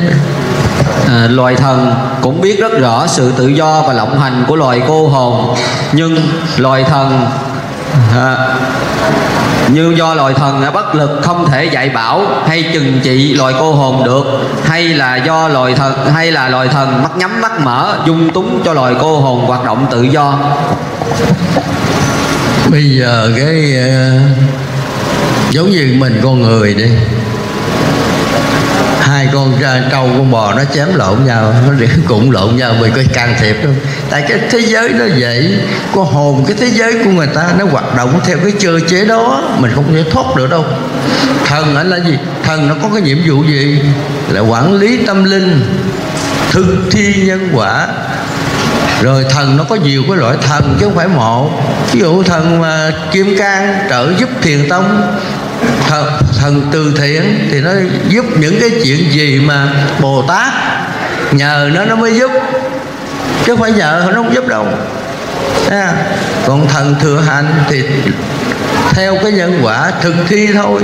Thời thừa hành. Bởi vì cái giống như bây giờ ở thế gian này mình cái anh mà cảnh sát thổi đường á thổi thổi giao thông á thì ở giao thông ông vi phạm chứ ông, ông dám dẹp lề đường ta không? Cái chuyện gì cũng ai lấy lấy lo. À. còn cái cảnh sát mà do hộ khẩu thì lo cái phần mình thôi. Thần nó cũng làm cái dạng này. Việc ai đấy làm. Còn cái chuyện mà có hồn là cái gì cái, cái, lại cái thế giới nó thần không dám đụng tới có hồn hả sao? Nó nó nó đạp anh anh nó không có nhân quả đó. Không bắt nó được luôn á. Tại cái thế giới nó là vậy thành ra đừng có xen vào thế giới thứ nhất. Bởi vì trong, trong trái đất này năm loài sống chung sợ nhất là cái loài của hồn đừng có đụng tới đó. Đó mình phải hiểu cái nguyên tắc này. Rồi câu hỏi tiếp đi. Trong thế giới vô hình thì loài thần và loài cô hồn thì à, loài loài nào có nhiều hơn? Cô hồn thì nó nó nó, nó còn nhiều một triệu lần ông thần. Thần muốn làm thần khó lắm làm thần này phải công đức. Ở phước đức âm, có hồn, có cần phước vậy đó. Anh anh chỉ làm, anh chỉ trở lại làm người mà không chịu vô vậy thôi. Nói đúng là tất cả các nơi đi luân hồi thì phải có phước mới đi được. Phước dương lên. Còn anh muốn lên ờ, cực lạc, anh có độc anh ngồi tôi cho anh tụng kinh, nghĩa là gãy răng đi nữa mà không có chiếc công đức thì làm sao lên? Cũng như hơi bây giờ anh muốn rồi đi qua bên mỹ sống á. Rồi sao? Muốn thì được rồi đó. Phải có đô la, không có không có đô la mỹ sao đi. Còn muốn làm thần phải có phước âm. Còn có hồn, có phước gì rồi tôi không có làm gì hết á. Tôi, ở thế giới này tôi không làm ác mà cũng không làm thiện. Rồi vô là người mà tôi không vô. Vô người, vô là người tôi sợ quá đi. Sợ quá rồi phải ờ, mua quần áo mặc, rồi mua cơm ăn, rồi mua nhà ở. Thôi tôi không dám ra làm cồn hồn. Tôi không có làm gì hết á. Mà tôi muốn ăn đâu, tôi chực tôi ăn à là trên thế giới này cô hồn là nhiều nhất. Không đếm được đâu. Nhờ hỏi tiếp đi. Nếu so về trí tuệ và sự hiểu biết Thì loài thần và loài cô hồn ai cao hơn? Ta nó không làm nào cao hơn ông nào hết á. Cái nhiệm vụ phải làm. Chứ bây giờ này ví dụ nói về cái vụ thừa hành đây này cái người đã chết rồi trung ấm thân chứa cái gì? Ông thực thi nhân quả có vậy thôi không có suy nghĩ gì ra học thực thi nhân quả. Rồi. Còn có hồn thì ta nói là ta muốn làm gì ta làm làm sao cao pháp cao thấp được. Có nghĩa là tôi đói, tôi đi giết tôi ăn. Đấy không? Có vậy thôi, chứ làm sao là ai cao hơn ai. Mà cái số lượng thì nó đúng cô hồn nhiều nhất rồi còn cái loại thần định phải có cái căn bản thôi đó. Rồi con hỏi tiếp Hello. À, con à, xin hỏi bác à, một câu này. Tập tập trung vào à, hỏi à, vấn đề là giác ngộ giải thoát. Thì các mọi người đừng có hỏi à, cái chuyện à, rông dài đâu đâu nó là mất thời gian của bác và mất thời gian của tất cả mọi người. Thì con hỏi thế này. Khi con người chúng ta mất đi ấy, tức là dừng dừng thở lại thì thì đi thì trong kinh nói là đảnh sanh thánh. Rồi là dưới thì dưới bụng ấy thì à, sanh à, tiên rồi dưới nữa bàn chân thì là địa ngục thế thì khi ta xuất cái à, gọi là xuất hồn hay xuất thân hay xuất à, cái trung ấm thân ấy thì thầy có giải thích rõ ràng hơn cho vấn đề này được không ạ? Hay là xuất ra nó bằng cách nào trong khi mình ờ, ngừng thở thì mình thấy ờ, mấy cửa đấy. Thì thầy có giải thích rõ hơn cho các con ờ, hiểu được. Để cho mọi người đây cũng được hiểu được. Sau khi có người cũng đang cũng già rồi là vô thường mà đến thì trẻ già thì cũng như nhau cả. Thì bác giải thích rõ hơn vấn đề này cho con là trong khi mà cái cái trung ấm thân thì khi mà xuất ra thì qua cái đèn đầu thì là có cái thân, cái cái tánh người giữ. Rồi là qua cái cửa hại triều dương của trái đất, rồi qua cửa hại triều dương của tam giới. lặp lại lặp lại cho tôi phần ra con Dạ. Bây giờ anh anh anh có muốn hỏi như là về cái, cái lúc giải thoát đó đúng không? Vâng, thì vâng, về vâng. vấn đề như là đảnh à, giải thoát mắt sanh thiên rồi à, tim thì à, sanh người gì ạ? vâng vâng đây là công thức á dạ đảnh sanh thánh có nghĩa là trên cái đầu cái cái điện cái điện, cái điện từ âm dương mình nó bay ra thì nó hơi nó hơi ấm mới đầu. Ai có ai khi nào có người chết mới rờ đảnh sanh thánh mặt mắt sanh thiên. Ngực làm thần tim làm người bụng làm ngạo quỷ đầu gối súc, súc sanh chân địa ngục. Nó phải đi. Đây là cái công thức đức phật dạy vậy thôi. Chứ còn khi mà đi ra rồi á lãnh sanh thánh đây đó là rất ít người có vừa nào mà có công đức đi ra chỗ này thì vị thần không không quản lý mình được. Nhìn thấy rồi cho đi ra luôn. Thấy không? nếu mình có công đức thì cái cái hơi ấm ở trên cái đỉnh đầu mình đi ra. Mà vị thần nhìn thấy cái đỉnh đầu đó thì nên nhớ rồi biết rằng ông đứng ông dồn, hoàn toàn ông không dám rờ cho mình. Là tự mình giải thoát á còn mắt sanh bát sinh thiên là nữa thì cái sinh thiên này thì nó tới sáu cái cõi trời, sáu cái cõi trời. Mình đã biết rồi, thì không?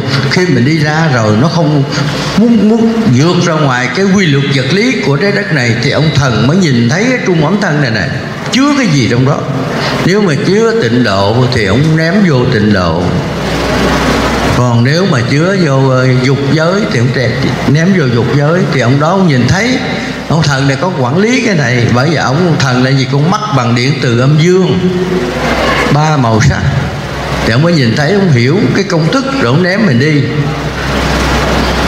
Còn à, hồi nãy cái vấn đề mà tất cả đi đâu á thì nãy có nói trong cái dặn dò đó ví dụ mình à, thấy mình mà lên nói cực cực lạ thì trước đó ba ngày, mình thấy ông phật này, phật kia tới với mình, là chắc chắn mình chết thì đi về đó. Còn mình thấy mà trước khi chết mà thấy heo, trâu bò, heo dê nó dí mình nữa, chắc chắn mình chạy chạy vô đó. Còn thấy cây cối thì phải vô đó. Đó, trong nãy trong nãy là mười mấy con đường luân hồi đã nói, còn nếu mà thấy trở về Phật giới thì dễ thôi. Thấy không? Đại ta dặn dò đó. Có nghĩa là mình ra, Trước khi mình ra thì ông thần, ông thấy mình Mình mình không thấy ổng luôn á. Ông đứng xa quá, mình không thấy là tự động mình tự động mình rơi. Vừa rơi thì qua tiêu một vị Phật mới dẫn mình đi ra ngoài khỏi Cái sức hút của trái đất, Đi ra cái rìa của sức hút trái đất, đi vòng ở đó, rồi qua tiêu mới dẫn về đến trung tâm vận hành luân hồi. Muốn về đến trung tâm vận hành luân hồi đó thì phải đợi bởi vì trái đất này nó cái đầu hải triều âm nó quay 365 ngày nó mới trở về điệu trời âm hoặc 365 ngày trở về dương. Mình phải hiểu cái công thức này. Chúc uh, có anh tài nó nó nó cái mẫu mà cái tâm giới á. Coi cái mẫu đó nó giải thích rồi đó là vấn đề mà cái vấn đề nhân quả luân hồi. Rồi còn ý gì nữa? Ý ý gì nữa? Con hà con nói đi. Con là khi mà tức là vượt cái cửa hải triều dương của cái đảnh cái là đảnh danh thánh này là vượt cửa hải triều dương của trái đất. Rồi tiếp tục lại vượt cửa hải triều dương của tam giới. Thì là ba cái cửa hải triều dương lớn thì thầy giải thích rõ cái chỗ này cho các con này. Bây giờ cái hải triều dương của cái tam giới là đi ra hải triều âm của tam giới nó hút vô. Mà cái dòng quay tam giới á, cái giữa cái trung tâm mà không quay thì đó là cái hửa trại giường âm và dương. Còn trái đất âm dương là thế này từ ở từ nó hút vô hút vô trái đất gọi là hút âm. Còn đẩy ra trái đất gọi là đẩy dương. Đẩy ra trái đất là đi họ hưởng các cõi trời đó gọi là đẩy dương. Ra chỗ nào gọi là gọi là hại cửa cửa chỗ đó. Trái đất nó không có cố định giống như cái tam giới. Vì trong trái đất, nó chỉ quay theo tám phương bốn hướng của theo cái bầu cái bầu tam giới thôi. Nó không có, nó tuy là nó có cái trục quay, nhưng mà nó không phải là cái cái trung tâm vận hành. Mà trái đất mình phải có khái niệm này. Hút vô trái đất, hút ở trái đất này nè. Vừa sanh ra, hút vô trái đất, đó là hải triều âm bắc còn sanh, vừa sanh ra bay ra khỏi trái đất là hải triều dương. Ví dụ người mỹ thì nó nó thoát ra ngoài cái bên cái à, thế giới của bên của, của người mỹ người châu á rồi người châu phi chỗ nào đi ra là của cái hải triều dương của nơi đó nó không cố định giống như cái cái trung cái cái cái, cái tam giới. Tam giới là duy nhất chỉ hai cửa thôi. Nó quay theo cái nó theo cái quay cái trục tam giới của mình ở đây. Nó quay để nó ổn nó để tồn tại của trái đất. Nên nhớ trái đất mình quay. Có cái chỗ không quay nhưng mà đây nó là cái tồn tại của trái đất chứ không phải là còn hút âm hút dương. Nên nhớ mình chết mà mình thoát ra ngoài trái đất gọi là hải triều dương người mỹ cũng dương mà người việt nam hoặc người nào ra ra khu phận nào là dương của khu phận đó. Còn mà hút bây giờ mới vừa ra, mình muốn lên lên được nó kéo lên liền. Vậy cái nghiệp mình nó kéo ở trên đất gọi là âm hút vô âm. Nó hút nặng nhất cái loại cô hồn nó ở trên mặt đất này là không được quyền thoát đi ra ngoài cái mặt đất rồi cô hồn á. Còn cái loại thần nên nhớ là cái thần quản thần chủ thế giới thì chỉ ở trên mặt đất có trên sáu ngàn cây số thôi. Sáu à, sáu à, sáu ngàn thước thôi. Còn mà nếu mà loại thần giờ của quốc gia đó bốn ngàn thôi không đi lên được. Còn thần chột dung thì chữ một ngàn thôi. Còn thần tự hành nhớ là không thoát ra nổi cái cái, cái ngọn cây. Nhưng mà không phải thần tự hành bay không dám bay ra khỏi ngọn cây đâu. Nó chỉ trong ngọn cây nó trở lại thần tự hành đó. Còn tất cả cái loài mà gọi là loài ngạo quỷ á à, thì nó kêu bằng nó trên mặt đất có mấy tắt rồi bốn ba bốn tấc vậy thôi. Còn nếu mà rồi cái loại mà của hồn cái loại mà điên ngục quá ở sát mặt đất hoàn toàn không nhúc nhích khỏi mặt đất. Bởi vì nó đi nó đi nó nhúc nhích mà nó không có phải bay đâu. Vì nó không cái con mắt nó bị không thấy đường. Ở cõi, cõi địa ngục là con mắt không thấy đường. Nó đi nó sợ lắm. Thành nó đi vậy. Chứ cũng ở trái đất này gọi là hút âm. Âm càng âm thì càng sát mặt đất và phước âm thì nó nằm cao mặt đất chứ nó cũng, cũng bị lực hút vào trái đất. Đó phải hiểu cái nguyên tắc này. Rồi con hỏi tiếp đi.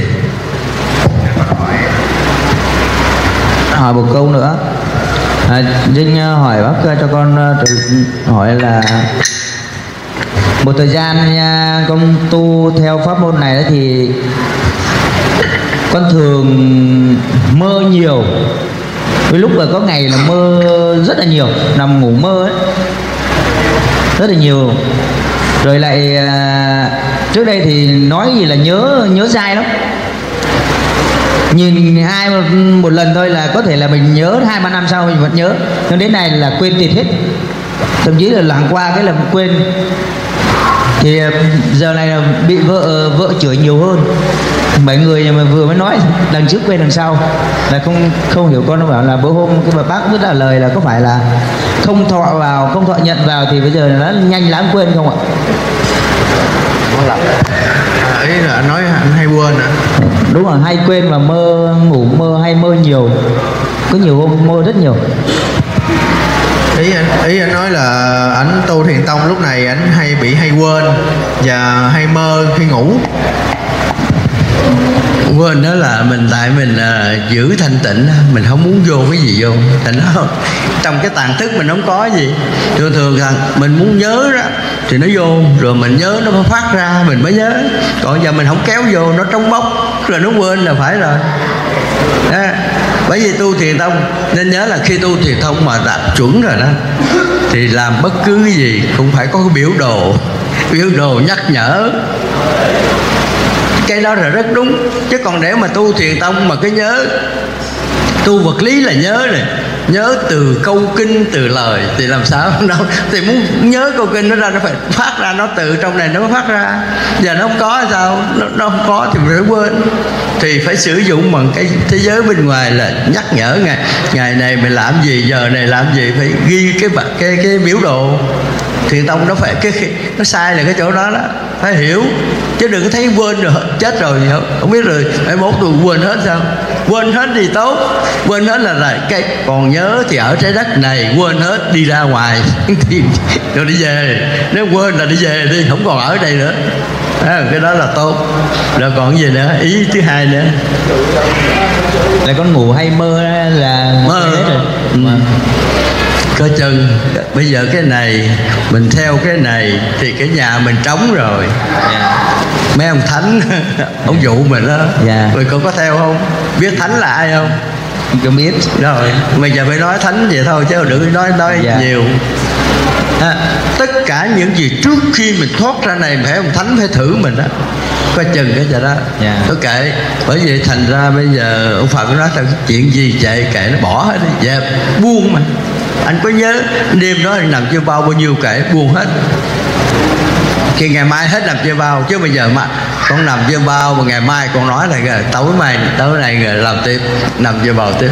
Con buồn mấy lần hả? Mấy ông không tới nữa mấy ông không mấy ông dám lợi nữa lợi mất công nữa yeah. Dạ. giống con hỏi à, một cái câu mà bữa hôm con nghe trên mạng bác trả lời trên mạng ấy nhưng mà người ta ghi âm mới là con nghe không biết rõ để con hỏi lại là có một cái vị à, nào đó, tôi không nhớ nữa rồi.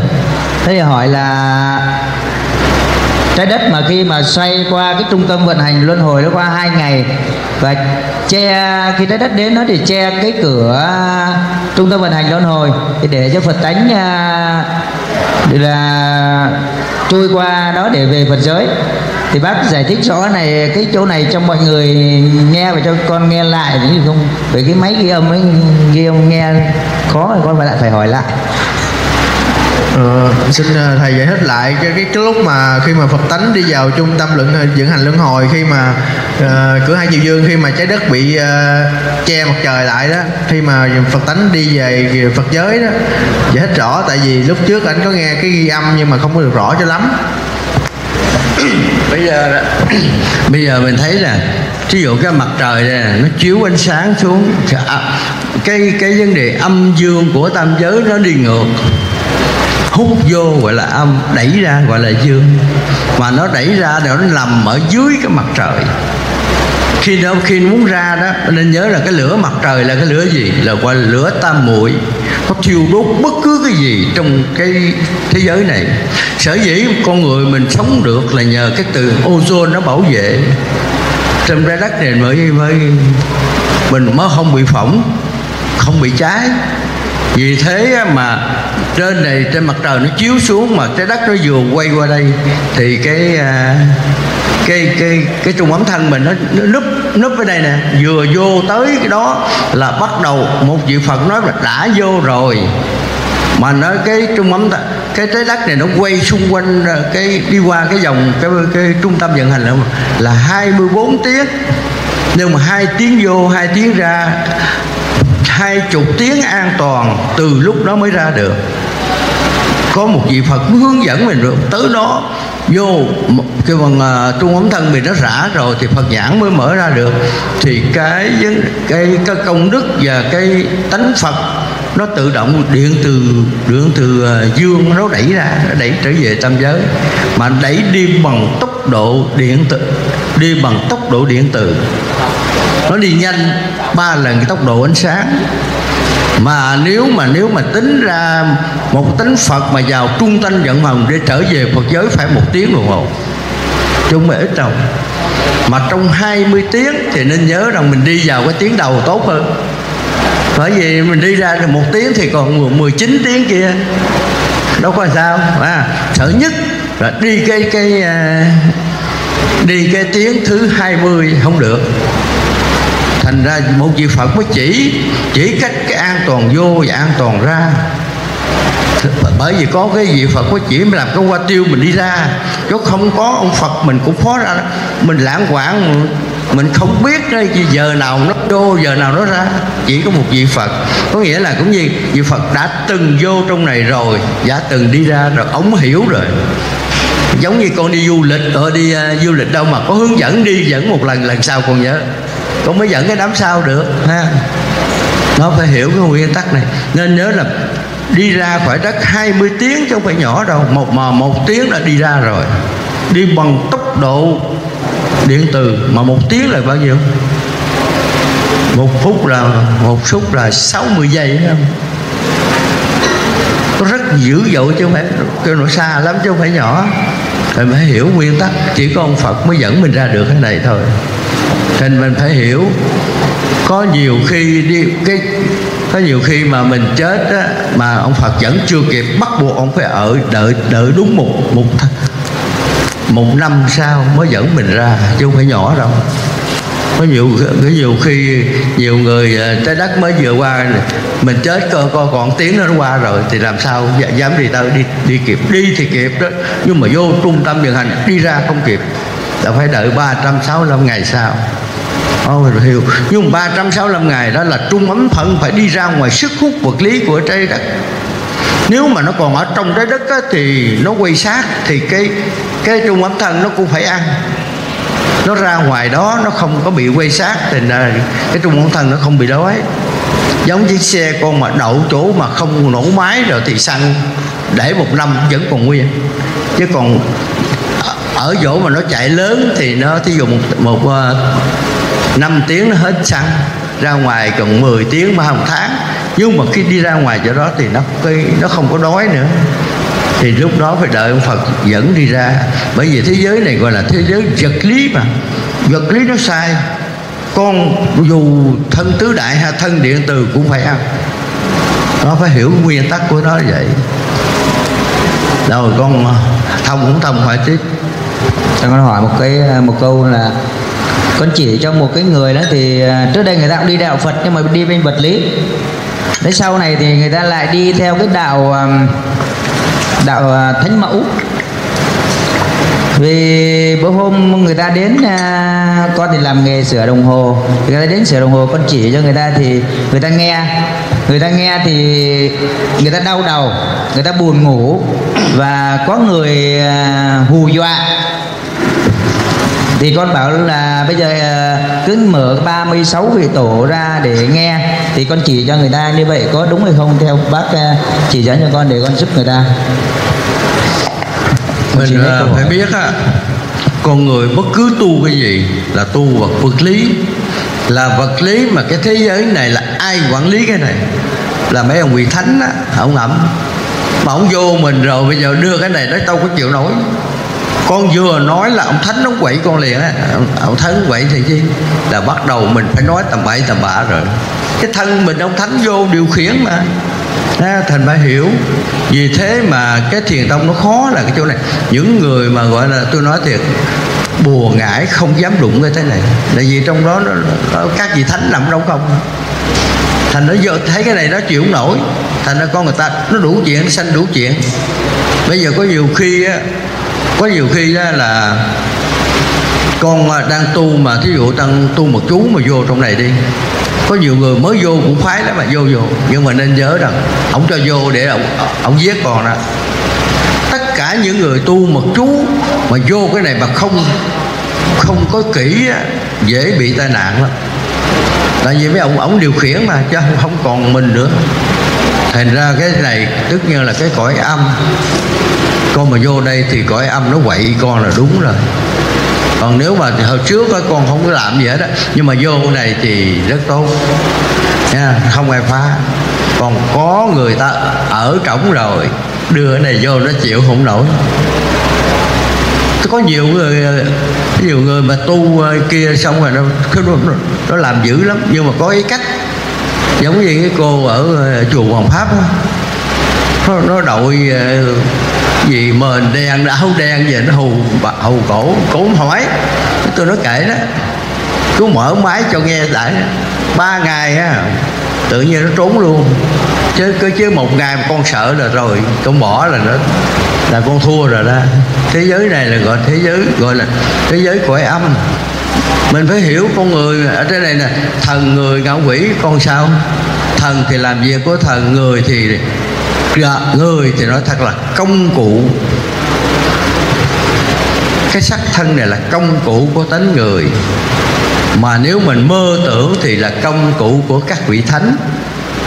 Nó con phải hiểu hai câu này. Thì con mới hiểu cái thiền tông này con cái sắc thân này là công cụ tánh người và công cụ của các vị thánh. Con muốn làm lính ai? Thì mời mấy người đó vô. Chứ ở đây không có ông Phật nào vô đây. Đừng có xưng ông Phật đây. Con xưng ông Phật đây là con tầm cơ cải ngàn lựa bị mấy ông thánh rồi đó. Rồi câu hỏi tiếp đi.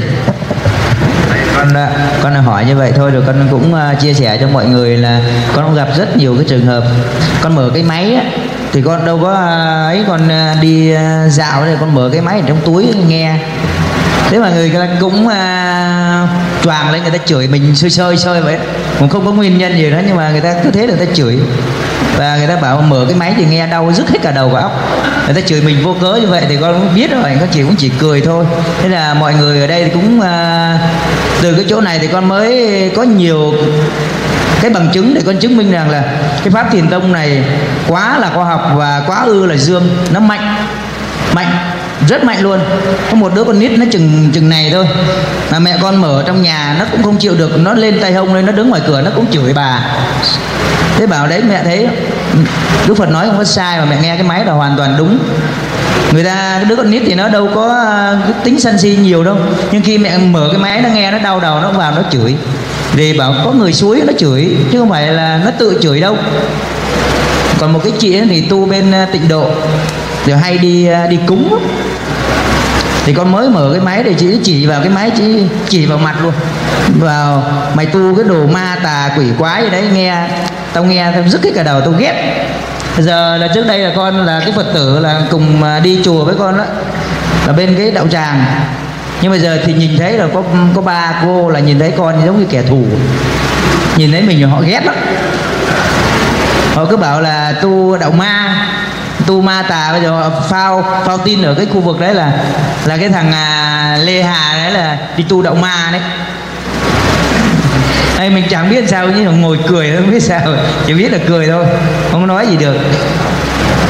Đấy thì con biết là cái đó là cái âm lực người ta mạnh quá thì con suy nghĩ có vậy có đúng không bác? À thôi thì con cảm ơn nữa thì câu trả lời. Ừ, cái người bị âm ta không chịu nổi rồi bởi vì nói tiện nam mô là gì? Nam mô a di đà phật. Ông phật ông nói vậy. Và tại sao kinh cam nếu lại phật, ông lại tà? Tất cả các chùa bây giờ thờ phật không, ông phật không ở được. Mà mời ông bây giờ ông chính về bắc á. Tu để hô thần nhập tưởng, mà thần có lạnh thì có lạnh. Làm gì nhập tượng thì mấy ông kia nhập. Đó, vậy đó. thì tại mấy ông thánh nhập thì thì mình phải cúng ông thánh ăn. Rồi giờ nghe cái này, ông thánh chịu không nổi. Ông thánh chửi có vậy thôi cái này thế giới này là rõ ràng như vậy. Thấy không? chứ bởi mấy người đó không phải là ấy đâu. Thánh không á thánh chửi mình đó giờ có hỏi tiếp. Yeah.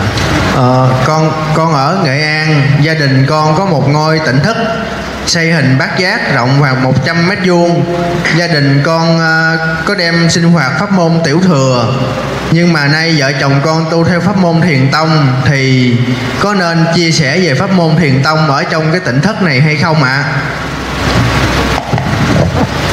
bát giác là nó thuộc về bát quái nó yếm nó yếm cái lực âm vô thì người âm vô rất nhiều hình bát quái đó, người âm vô rất nhiều còn đưa cái này vô nên nhớ là mới đưa vô nó phản ứng kệ đó. Khỏi cần sửa. Còn nếu mình mình sợ mình sửa là không được. Cứ đưa như cứ nhào vô đi không sao. Thấy không? nhưng mà phải trong vòng 3 tháng 3 tháng thì cái hình bắt quái nó mới, mới nó mới xóa được. Bắt quái nó trở thành là bát chánh đạo. Nó không còn bắt quái nữa mà rồi gọi là bắt chánh đạo nó mở được. Nên nhớ phải cho ga. Chứ còn không ga thì coi chừng. Coi chừng cái, cái hình này nó quật mình à.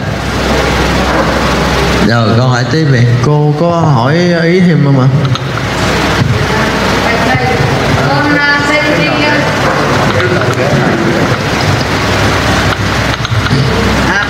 lại chúng thì con cũng có à, một à, số vấn đề là ở nghệ an vào đây hơi xa, cho nên là con cũng muốn hỏi thầy cho rõ.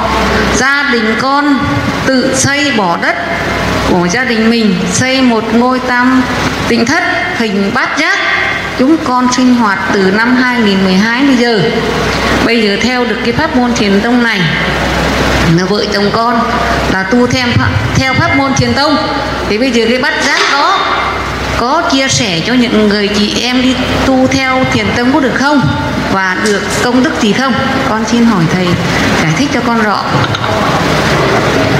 Ờ, đã đã giải thích cho cô rồi đó. Gia đình bỏ.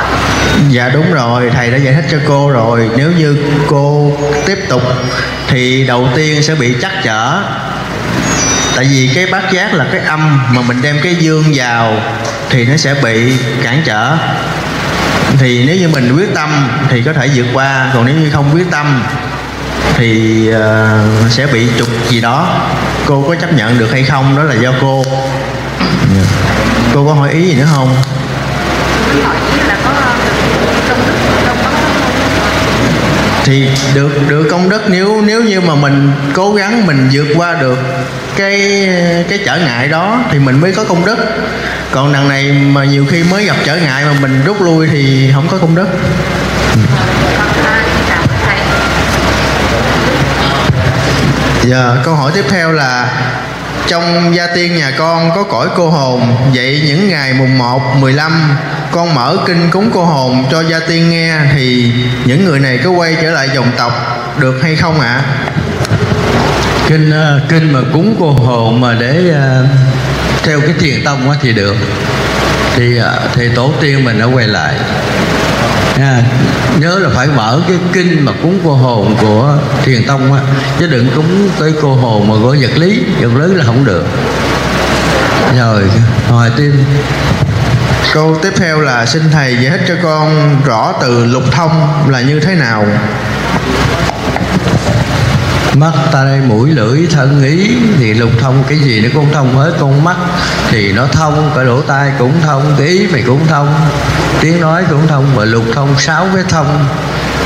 Thở cái, ờ, cái cái cái cái căn của mình cái gì nó cũng thông hết rồi là thay vì người ta là lục căn lục trần thì bây giờ mình nói là lục căn lục thông. Nó nương vào đó cái gì nó cũng thông hết. Gọi là lục thông. Rồi câu hỏi tiếp theo là Con thấy thầy giảng Phật nhãn là thấy bằng điện từ quang của tánh Phật Vậy chứ cái thấy của trung ấm thân bằng điện từ âm dương gọi là thấy như thế nào? cái à, nó Phật nhãn nếu thấy thì một vị Phật mà ở thế giới à, ở thế giới Phật nó thấy toàn hoàng bằng điện từ quang và một kim thân Phật thấy nó khác còn ở trái đất này Phật ngũ nhãn nó thấy giống như ông có năm cái mắt kiến để ông đeo vậy đó. Đeo trong thế giới vật lý này giống như bây giờ khoa học nó nó đã văn minh nó mới nói được nè. Anh đi ban đêm thì anh đeo kiến hồng ngoại sẽ thấy ban đêm. Còn anh muốn thấy cõi trời thì anh mang mang kiến dẫn dẫn vọng kính ông thấy trên trời. À, còn muốn thấy cái cõi âm thì mang cái thứ, cái kiến huệ, nhìn thấy thấy cõi vô hình. Rồi muốn coi cái, muốn coi cái sinh việc, sinh diệt của cái trái đất hay là con người, bất cứ cái gì, nhìn thấy được thì mang kiến huệ. Ông Phật có năm cái kiến chứ không phải một cái. Nhưng mà ông không đưa ra. Mình á, thì khoa học nó đưa bằng vật chất ông đưa bằng cái năng lực của ông là toàn giác toàn năng. Ông đưa năm cái này ông mới trở thành một vị toàn năng toàn giác. Có nghĩa là ông Phật có năm cái kiến. Còn mình có một cái. Nó phải hiểu nguyên tắc này. Mình thì có một cái có cái xài hoài còn ổng à, muốn xài thấy uh, cõi cực lạc ổng mang chỉ dụ ổng thấy mang chỉ cõi uh, cõi thiên nhãn. À, ổng muốn thấy uh, cái cõi vô hình ổng mang kiến huệ nhãn. Rồi uh, muốn muốn coi cái sinh diệt thì ổng mang cái kiến pháp nhãn. Ông muốn thấy cõi trời thì ông phải mang cái kiến điện từ quan nhưng mà trang bị cho thân tứ đại còn cái mà về bên Phật giới không cần trang bị cái gì hết tự nhiên nó vậy.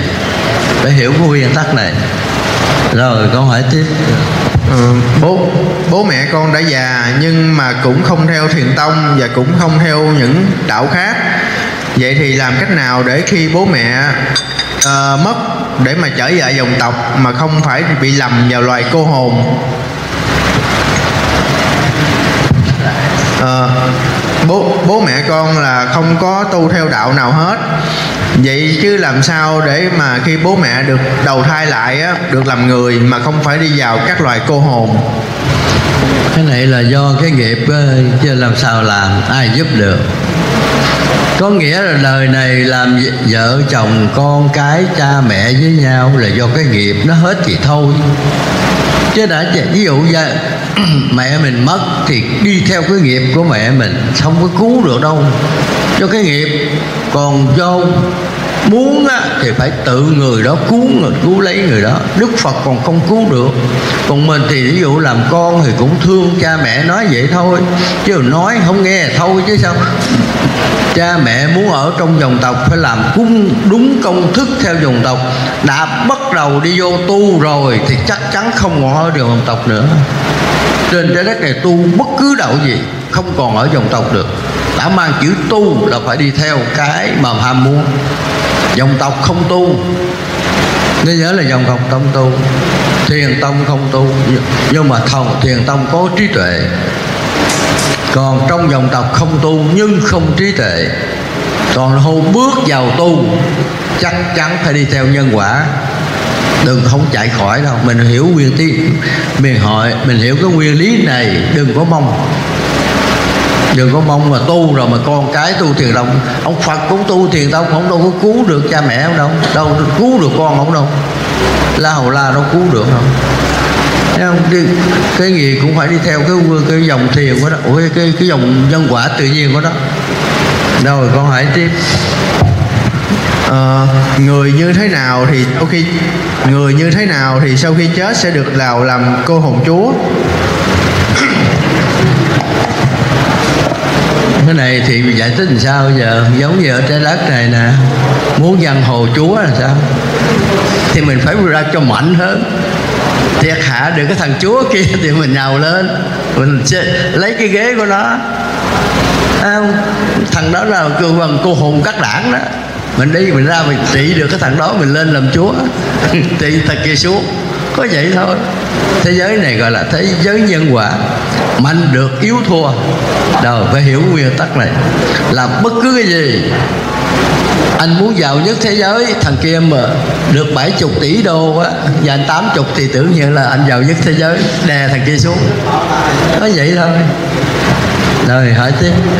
À, người người tu thiền tông đã lâu nhưng trong cuộc sống hàng ngày vẫn còn chấp nhiều. Vậy thì công đức có bị ảnh hưởng bị bôi đen hay không? Công đức nó khác, còn cái vấn đề mà sống đây là sống theo nhân quả. Tới nhân mình có công đức công với nhân quả nó vẫn quật mình như thường. Cái đời trước mình làm sao, giờ nó phải trả lại cho người ta chứ. Còn công đức là chuyện khác. Công đức là cái hành trang để đi về phật giới chừng nào mình tạo được phước đức nó mới quay lại nha. Trong thế giới này tạo phước đức nó mới chuyển được. Còn tạo công đức không chuyển, bình thường. Nhân quả trái đất này phải trả phải trả cho đầy đủ mới đi ra được. Nha, chứ công đức không có giải quyết vấn đề trong cái nhân quả này. Phải hiểu cái thế, phải hiểu thế giới này.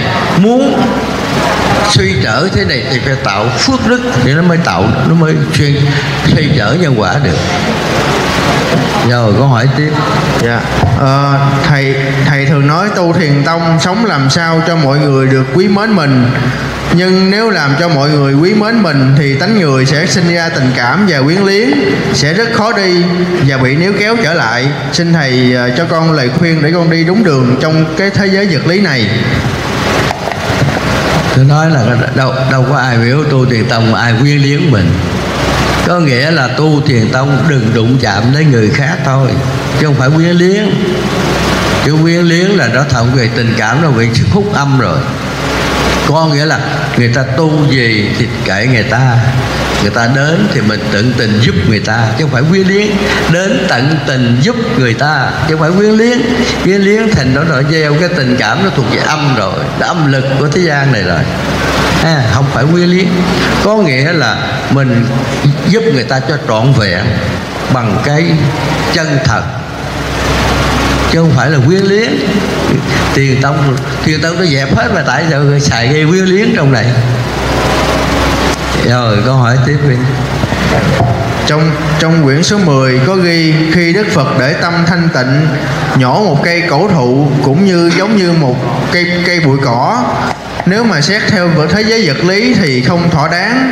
Xin thầy giải thích lại cho con hiểu ạ. à thì cái, cái câu chuyện đó là ông là ông có nói rồi đó thì giống như mình đứng trên thế giới vật lý mình quăng đi á, thì bị sức cản vật lý. Nó không đi xa. Còn đi ra ngoài cái cái sức hút với lý quăng thì đi xa. Còn cái chuyện mà ông nói ông nhỏ là đây là một mình phải nên nhớ rằng một vị toàn năng toàn giác. Mình không phải là toàn năng toàn giác mình sao mình nhổ được còn nếu mà mình ở thế giới này mình nhổ được, chứ phải không. Nhưng mà phải toàn năng toàn giác ổng á. Nhưng mà giờ thế giới này mình có thể toàn năng toàn giác được. Biết sao không? Mình giàu đi. Giờ muốn nhổ cái cây cái gì? Sắm cái máy trèo trển, bấm nút nhổ. Cũng mình nhổ dai đâu. Bấm nút nó nhổ liền. Thấy không? thế giờ bởi vì ông phật nói cái thiền tông này ra đời nó phải chứng minh bằng khoa học bây giờ nó hồi xưa nói mày nó xin lỗi mà cái cây ai nhổ được? 300 thước ai đưa lên? Thế giới, mình vẫn đưa được. Bây giờ thế giới này mình làm đi tôi có tôi có toàn năng cái này hỏi sao? Tôi mua cái máy. Tôi móc đẩy nó lên tới. Mua cái máy cột vào cái gốc cây, nó nhổ 10 cái cũng ra được. Cái núi, bây giờ cái núi hả? Có tiền không? Mua trái bô mà nhét lại chích một cái nó nổ banh liền khi tột đây là gọi là toàn năng. Đức phật toàn năng thần giác là ông sử dụng cái thuật điện từ. Còn mình đây sử dụng sử dụng thuật vật lý cũng phá được cái cây cũng cũng phá được cái núi. Chứ một mình, mình mình nếu mà người giàu bây giờ nói thiệt là giống như là cho Bill ghét cho giàu nó toàn năng toàn giá giờ mua cái gì cũng được ông làm gì cũng được ông cất 10 cái nhà không được. Toàn năng là vậy. Nhưng mà ông không cất ông bỏ tiền ra bắt người ta cất đó là vậy thôi. Còn phật hồi đó là ta sử dụng một cái thuật gọi là điện từ. Ông ông phải sử dụng toàn bộ 12 cái loại điện từ. Trái đất này không phải có một cái loại, mà tới 12 loại điện từ. Ông sử dụng được hết. Còn mình ở đây sử dụng bằng cơ tay, cơ chân, nhưng mà đều toàn năng, toàn giác, sử dụng bằng cái trí. Có tiền mua cái gì? Hồi xưa nó không ai dám chạy 10 cây số giờ giờ tôi chạy trăm hai chục cây số giờ đủ, không trèo lên xe lên cao tốc nó chạy rồi. Nó cũng là toàn là tôi có tiền tôi mới làm được đây tại bất thật ông nói nhưng mà không mình không mình không có hiểu cái lời sâu xa của ông. Chứ hiểu được sâu xa ông là ông nói thực tế rồi đâu có gì đâu khó giờ câu hỏi tiếp Dạ. Trong quyển số 12 có viết ở trên đất tốt một nhà bốn con. Vậy bốn người con này chỉ bốn người nào? Kính xin bác chia sẻ cho mọi người cùng biết ạ. ý nói là cái này là, là đất đất này long lân quy phụng cái đất đất này đất gì cái đất này đất lân nè long lân quy phụng trên nhà bốn con thì tên là bốn cái quý này long lân quy phụng mà giờ phải cái này đất này đất long không? Con, con rồng. Đất này chính là đất con rồng. Nước này là nước con rồng. Đó, nước đồng tổ tiên mình nói rồi con rồng cháu tiên. Đất này là đất long đất rồng. Mà rồng là do một người nữ. Nó, nó, nó ăn chứ không phải mấy ông kia. Chứ không phải ông nhật từ nó long thành long đất như vậy cái lông nào thì cũng được. Với điều kiện phải có một người nữ nắm tập quyền ký này thì mới đúng là lông nữ. Chứ mà ông nói long hồ long hồ có ông, có bà nữ nào đâu. Long thành có bà nữ nào đâu. Phải không? Đã, ông phải ông nói ẩn ý vậy thôi mình phải hiểu. Chứ mình uh, ông bắt là bao kêu mấy người ta không hiểu ta bắt lỗi. Thì thì ta kể chuyện thế gian. Người ta thế gian, người ta tưởng đâu. Bởi vì à, tại sao ông nhật từ ông còn dám mà dám chê ông phật là thiền thiền không chuẩn để ông phật không có tiến sĩ. Ông có tiến sĩ, ông phải hơn kia. Thì ông chê đúng rồi. Cái đó nguyên ta ông nhật từ, tại tôi có tiến sĩ, ông có tiến sĩ. Ông lệ thọ vậy, ô, ông phật tiền thiện rồi ma dương thì đúng rồi. Ông phật ông cao lắm, ông phật cao đó hồi đó là học hết chương trình thôi. Chứ làm sao ông vào có bằng tiến sĩ ông mà mấy ông nào ông này thì mấy ông này chê là đúng rồi. Ủa, thì chê ông này dở hơn. Mà biết tại sao ông nhật từ chê ông phật không? Tại ông phật để tóc. Ông để tóc này không có xài gì nữa tôi cạo đầu rồi tôi nói đúng này tôi cạo đầu tôi có bằng tiến sĩ tôi nói mới đúng. Còn ông để tóc ông biết cái gì? Tiền tiền gì? Tiền tiền không chừng. Rồi hỏi tiếp đi. Câu tiếp theo là bác có nói robot là công cụ của con người mà con người là công cụ của các loài thần và cô hồn. Xin bác cho ví dụ về cái loài cô robot này được hay không? con người công cụ bây giờ hỏi chơi không à, bây giờ ai nhập vô mình cái thân này là là cái tánh người nó nhập vô thì nó sai đi. Cái thân này là phải công cụ là gì? Thân cái thân này biểu giết người cũng được, bị làm phước thiện cũng được, muốn làm cái gì cũng được. Là nó là công cụ rồi. Công cụ của tánh người. Tánh người nó phát ra tham, thì cái tánh người phải, thân này phải tham. Đi lấy cái tay móc của người ta là công cụ. Thân này ác, dùng cái dao giết người ta là công cụ. Thấy không? thần nhập vô là gì? Thần nhập vô biểu làm gì làm lấy. Có nhiều người cái thân này tôi xưng của hồn, mà tôi xưng gì thượng đế? Cũng cái thân người. Là không phải công cụ là cái gì? Thân tứ đại này là công cụ của tánh người và tánh thánh. Mình không dám nói cánh của hồn của các vị thánh thánh xưng bằng cái gì? Thánh xưng bằng cái con người. Ta là cái gì đó bằng con người? Mà bên trong là cái gì? Bên trong là cái loại gì? Loại gì nó ẩn ở trong đó? Đó trên bên đâu là cái tính người. Thì ẩn nó sai, tính người làm đây giống gì đó tụng cái thân người thì giống như cái xe thôi. Biểu chở nó chở, biểu nó chạy nó chạy, biểu nó đi đâu đi đó thôi. Chứ đâu có biết cái gì. Cái thân này đâu có biết gì. Mình tưởng đâu cái thân này là của mình, không có đâu. Của mình là tại sao làm đủ chuyện vậy? Mình thì nếu mình, con người thiện là cứ làm thiện không? Con người ác làm ác không? Chứ tại sao nó, lúc thiện lúc ác, nó phải theo cái quy luật quy luật vật lý gọi là công cụ. Giống như chiếc xe nó là công cụ của anh tài xế vậy thôi. Rồi hỏi tiếp. Dạ. con uh, trong các kinh có nói về bát chánh đạo vậy tám con đường được gọi tám con đường nào được gọi là bát chánh đạo? Chính xin bác chỉ cho con bây giờ bác chánh đạo là giống như ông xá lợi phất, á, ông mở, ông đi con đường về, ông kiến tánh bằng cái con mắt. Kiến tánh. Rồi cái ông a nan đà ông gì? Ông kiến tánh bằng tiếng nghe tiếng nghe của, thì nó tám con đường. Thì à, con người mình là gì? Tám con đường đi luân hồi. Mà muốn về Phật giới, đạo cái bằng đạo tiểu thừa vẫn về Phật giới được chứ không phải không? Nhưng mà tại không biết người ta sử dụng sai. Ví dụ tiểu thừa là gì? Thanh tịnh chính là trinh tịnh mà đừng có chấp nhận cái loại của hồn vô đi đừng có ép đi, nó là thanh tịnh tự nhiên đó. con đường đó là con đường để về Phật giới. Mà không biết ông ép lên, ông ông ông nói ta chấp ngã thì chấp là ta đã được cái này. Chữ cái ta được là nó bị rồi, nó bị sai. Nó tám con đường con người làm. Tám con đường đi gọi là đầu đường thôi. Gọi là bát chánh đạo là tám cái đầu đường để về Phật giới. Còn thiền tông nó không xài chỉ không không dạy con đường này mà nó không xài bất cứ con đường nào mà mà bắt buộc là ông thần phải nhả tánh Phật ra rồi nó đi rơi. Nó đi rơi nó về Phật giới. Con đường này không ai biết. Chỉ thiền tông mới chỉ thôi. À, phải hiểu hiểu cái này. Còn tất cả đường kia gọi đường vật lý. Phương tiện để đi. Nhưng mà người ta biết phương tiện đi nhưng mà nếu mà hiểu thì cũng về được. Nhưng mà khó lắm không ai chỉ cũng khó thực hiện con đường này lắm. Rồi con hỏi tiếp. Cháu cháu thấy uh, trong hình các vị Phật và các vị Bồ Tát luôn có một điểm ở giữa chân mày. Vậy chứ điểm này có ý nghĩa như thế nào?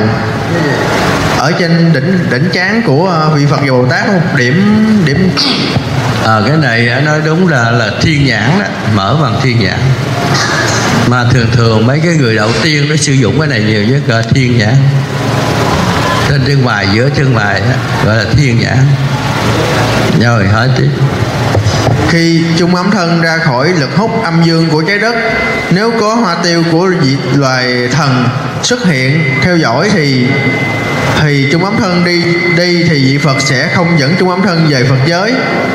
Như vậy là như thế nào ạ? à? Nguyên tắc chừng nào loại thần thả ra thì loại Phật quay tiếp. Mà mình nên chú ý này nè, ông, nếu mà ông thần đó nó trong cái dặn dò nó chưa có nói nhiều, loại thần của hồn, thần thần của hồn là nó đi, nó không có rơi, mà nó đi theo cái chiều, nó rơi theo cái chiều cong của trái đất. Phải nhớ cái chỗ đó đó, vì nó không đi ra khỏi cái ngọn cây được nó rơi theo. Nó cũng rơi nhưng mà rơi không xa mặt đất được. Chỉ có cái loại cái rơi mà ra khỏi cái mặt đất ra khỏi mấy ngàn thước á, thì nó mới trở về Phật giới được. Còn không mấy nó rơi nó quay theo cái dòng luân hồi. Nó nó rời đi đâu mà đó giống như chiếc máy bay mình đây này bay không cách nào ra khỏi cái sức hút trái đất được mà nó bay vòng vòng theo sức hút trái đất. Có thể bay vòng quanh trái đất được nhưng không ra được à, phải hiểu cái công thức của nó vậy. Rồi ông hỏi tiếp. Câu tiếp theo là tuần trước bác có nói tu về tu gì cũng có công thức rõ ràng. Vậy xin bác chỉ rõ về cách tu về thiên nhãn huệ nhãn pháp nhãn và phật nhãn. Bây giờ muốn tu uh, huệ huệ nhãn thì bây giờ phải đi mua cái kiến mua kiến huệ nhãn giờ nó có bán đó. Có bản là bây giờ mỹ nó phải sản xuất ra về. Cái kiến mà nhìn thấy cõi âm rồi đó. Nó nó có cái tần số giải mã cao hơn cái tần số mà của của cái à, cái gì nó đi ban đêm á, cái kiến đi ban đêm á. Đi ban đêm nó có ba phần trăm thôi. Kêu mà hồng ngoại đi được ba phần trăm. Còn tăng lên 10 phần trăm là nó thấy cả hình bóng vô hình luôn. Đó là huệ nhãn đó còn mình tu á, thì phải phải toàn năng toàn giác mình mới tu. Toàn năng toàn giác này có nghĩa là ông Phật á, ông biết sử dụng cái điện từ âm dương trong thế giới này. Trong thế giới này có 12 màu. Ông lấy cái màu nào ông coi chỗ nào.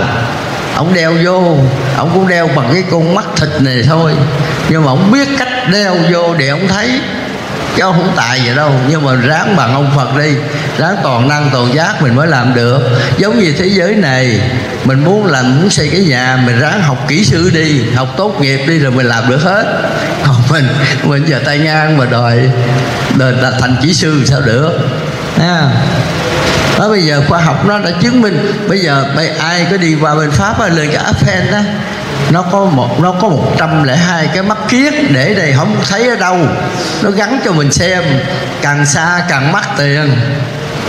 Ở trên à, tháp Eiffel mà cái tầng 1 á, nó có à, giờ chồng có thấy hành tinh nào nó gắn cho mình thấy? Nó có nó rất có nhiều tầng.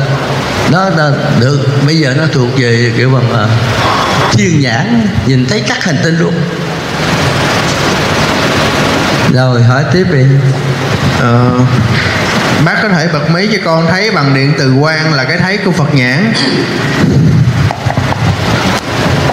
nói đúng là điện từ quang mà à, điện từ quang mà cứ mà nó, nó, nó xé toạc cái vô minh á thì cái phật nhãn mới thấy được. Nhưng mà trong thế giới này không nhìn lâu được.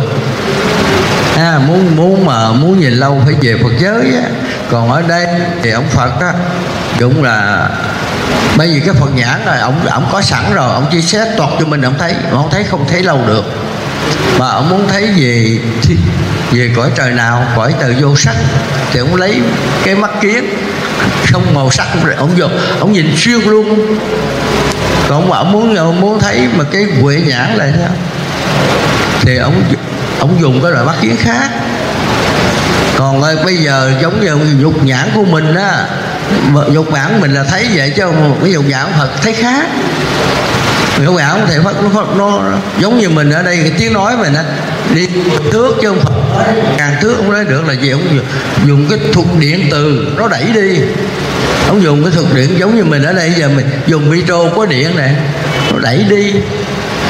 Phải có cái đây là cái thuật đấy đây giờ nó mình nói giờ cái cái cái tiếng nói về sở dĩ mình nói đây là cái gì? Nói là pháp dạ pháp pháp trần. Nó đẩy được tiếng nói này đi.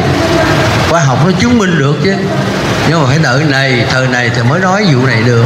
Nhưng mà cái này nói để cho trợ giúp cho giác đồ vậy giác ngộ giải thoát thôi. Chứ giác ngộ giải thoát là những cái này không không cần tới. Mình cần nhất tạo công đức để đi về biết công thức trở về. À, chứ không không chứ không phải mình à, làm được cái này cái kia rồi nhưng mà cái đường về phật giáo mình không biết làm sao. Rồi uống công với làm cái này giống như là giống như mình ở đây. Mình cắt nhà cho lớn rồi mốt mình chết mình bỏ chứ đâu có đem gì đâu chắc do đây cứ lớn cỡ nào chết bỏ hết. Thành ra mục đích cái người tu là muốn tạo dựng ở đây ít đủ sống thôi. Mục đích là đi về. À, sau cùng là đi về chứ đừng đi nữa đời này lên cắt ba cái nhà đời sau vào cắt tám cái nhà rồi riết cũng bỏ. Đời nào cũng bỏ chứ không có đời nào lấy nữa rồi hỏi tiếp đi. Ờ, kính thưa bác người tu thiền tông làm sao phân biệt đâu là giấc mơ bình thường đâu là giấc mơ do vị thần báo đến? Giấc mơ vật lý là mình à, ví dụ mình à, bữa đó mình muốn bệnh á muốn cảm á mình thấy. Còn vấn đề mà mình cái buổi chiều đó mình mơ mộng thấy gì tối đó là, là ông thần ông hiện cho mình đúng không? Cô hồn hiện cho mình thấy đó. Gọi là nếu mà mơ vật lý là cái cái cơ thể mình nó mệt mỏi hoặc là bị bệnh thì đó là mơ vật lý còn cái mơ mà gọi là mơ mộng ờ, buổi chiều ờ, tụng kinh về tối thấy ông Phật hiện. Đó, đó là mơ gì mơ, mơ gì cái ngành tu của mình. Phải hiểu cái nguyên tắc này. Rồi các hỏi tiếp. Ờ, hiện nay có hiện nay có một số người tu thiền tông lên những trang mạng khoe là mình nhìn thấy được các chư Phật, các cõi trời để mà lôi kéo người tu thiền tông. Người này làm như vậy là có thật tu chứng được hay không ạ? À? cái người đó thành thánh rồi đó cái người đó thành thánh rồi đó vậy cứ theo mấy ông thánh đó tốt à, chứ giờ sao thì ta xứng gì ta xứng thì nãy ta nói rồi khi mà nó làm đúng xưng gì xưng muốn xưng cục thượng đế còn được ngọc hoàng còn được thế đồ xưng thấy này thế kia dễ đi theo. Nhưng mà cái, để trị cái bệnh này là do cái kinh kim can trị. Thấy sắc âm thanh cầu ta là người đó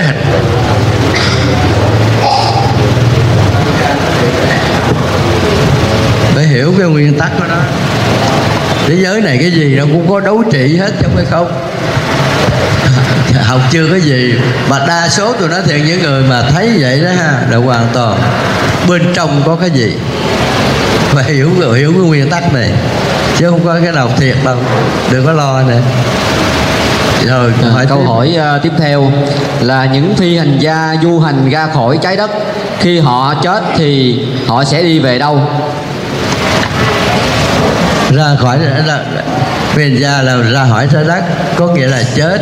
Cái thân cái thân tứ đại á nếu nó còn trong trái đất nó hút rớt xuống trái đất. Còn cái còn cái trung ông thần nó phải trở lại ông thần quản lý á kéo vào. Anh rớt ở đâu trên trái đất ông thần cũng biết hết á. À, có nghĩa là anh tu một là anh đi ra ngoài sức hút trái đất là nó bay ra không gian rồi nó bay nó mòn nó hết, nó hết. còn không ấy hai về tưởng tôi rớt đây mà rớt đằng kia rớt trong rừng, ai biết, rớt ngoài biển, ai biết. Chết thân tứ đại, phải trở về tứ đại, chứ không chạy được rồi là khỏi. Nó phải chạy về trong trái đất này mà nó không ví dụ mà cái phi phi thuyền nó rớt thì còn ta cũng biết ẩn định, còn mình rớt giống như cái hột cát ở trong không gian này, được biết rớt đâu. Rớt ngoài biển, sao biết? Chứ máy bay rớt mà còn không biết, không chưa con người mình đang thua gì. Tất cả gì không ra được chết phải trở về đây đất hết. Còn mưa mà phen gia mà nếu mà có phước đức anh cũng phải trở lại đây để ông thần thực thi nhân quả đẩy anh đi. Chứ còn còn nếu mà nợ không có gì thì ở đây thì ở trong dòng tộc qua làm cô hồn gì làm. Hoặc là có ác đức đó, thì ông, thì ông thần thực thi nhân quả ông làm cái nhiệm vụ của ông. Rồi con hỏi tiếp đi à, tại sao trời tứ thiên dương nằm ở bầu hoàng đạo 2 mà có khả năng điều hành các hành tinh ở bầu hoàng đạo 1 bầu hoàng đạo 2 nó cấu tạo bằng âm dương năm không năm màu sắc rất mạnh. Gọi là chút giới mà. Cái con người mà bằng tứ đại không điều khiển tứ đại được mà con đường muốn điều khiển tứ đại phải bằng điện từ âm dương năm màu sắc mà rất mạnh vì thế mà ông làm với bầu hoàng đạo hai thì ông mới điều khiển từ cái hành tinh vô sắc và cả cái, và cái của cái hiện, cái điện từ âm của tam giới luôn, điện từ dương của tam giới luôn. Rồi ông điều khiển luôn cả cái các hành tinh trái đất này luôn. Ông điều khiển cả cái mặt trời luôn, chứ không phải rồi bà ông sử dụng bằng điện chứ còn nếu mà mình bằng vật chất mình điều khiển mặt đời chắc nó cháy mình luôn á. À, còn nếu dòng ngoài bên mà 12 màu sắc không làm được nó yếu hơn. Chỉ có cái cõi trời dung giới mới làm được cái chuyện này thôi. Đó là cái quy luật vật lý của nó. Cái điện từ nó rất mạnh chứ mấy nó dám bởi vì mà tại sao phi hành gia nó bay ra ngoài không gian nó nhìn thấy trái đất bay nó ủa trái đất đâu có đồ hồi, hồi xưa là thượng đế tưởng ở đâu ai giờ thấy trái đất quay vòng tròn và lơ lửng nó quay. Cái thằng gia nó thấy vậy nó mới về nó báo cáo lại. Khi mà khi nào mà con người ta đi ra ngoài người ta mới hiểu được chứng minh rằng trái đất nó không đụng đâu hết mà nó bay lơ lửng trong không gian. Mà chỉ phình thành gia mới nói là thế này thôi. Mà cái chuyện này ông Phật cũng nói mấy ngàn năm trước ngoại tin vì thế mà ông phải đợi khoa học chứng minh rằng thì đạo Phật Thiền Tông mới có được quyền nói ra. Còn nếu không chứng minh bằng khoa học thì Thiền Tông này người ta chửi. Không ai không ai chấp nhận hết.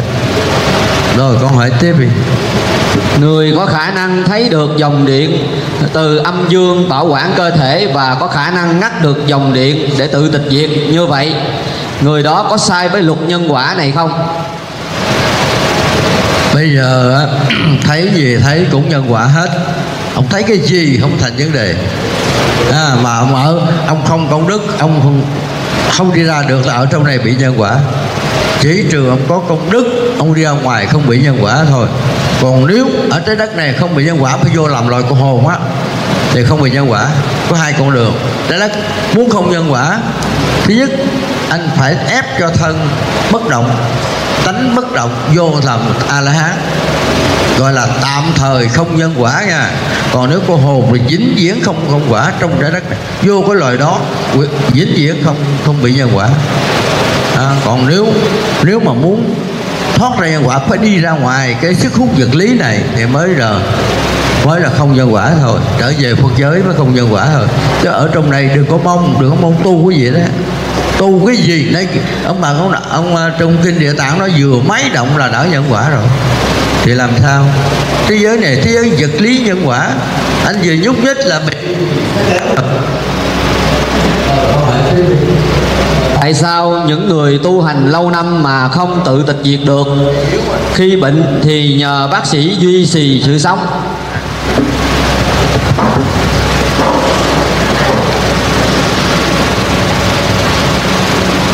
Đó. Tại sao những người tu hành lâu năm mà không tự tịch diệt được? Rồi khi bệnh thì phải nhờ bác sĩ duy trì sự sống. Tu hành là ổng à, đâu có nói tu là tu chứ ổng đâu có tu gì đâu. Ổng gõ mỏ tụng kinh rồi giờ không phải tu? À, ổng ngồi thiền không phải là tu. Nên nhớ là cái tu nó khác. Cái tu là phải vận dụng biến chuyển cái gì đó mới gọi là tu tu sửa. Thí dụ mình tu bây giờ cái, mình sửa được cái gì mới gọi là tu. Chứ còn ngồi gõ mỏ tụng kinh đó là tu không phải đâu, cái đó là anh gọi cho vui chơi thôi. Anh tu một ngàn năm đã làm một ngàn năm còn ngồi thiền mà không biết công thức, thì ngồi đó cho vui thôi. Chứ làm gì? Ngồi thiền anh phải làm cái gì? Đạt a la hán hay gì? Ngồi thiền mà đạt cái quả cao nhất ở trong thế giới này là tứ quả tinh văn gọi là tu, mới thành a la hán còn anh không đạt được cái này thì tu cái gì? Ngồi đó tưởng đâu tôi ngõ mỏ tôi tung kinh. Năm chục năm là tôi tu cũng phải làm cái điệp cho nó vui. Chứ làm sao tu? Tu nó khác. Tu là phải hành, phải làm. Cho chết cái này, chết cái thân này nè, mới là tu. Khám phá được cái gì mới là gọi là tu à, chứ đừng có nói. Làm cho dù mà anh, anh ngồi đầu anh gõ mỏ tụng kinh 100 năm anh cũng dạ anh là anh thôi chứ không có gì trời trơn. Mà cái người rước anh là ai?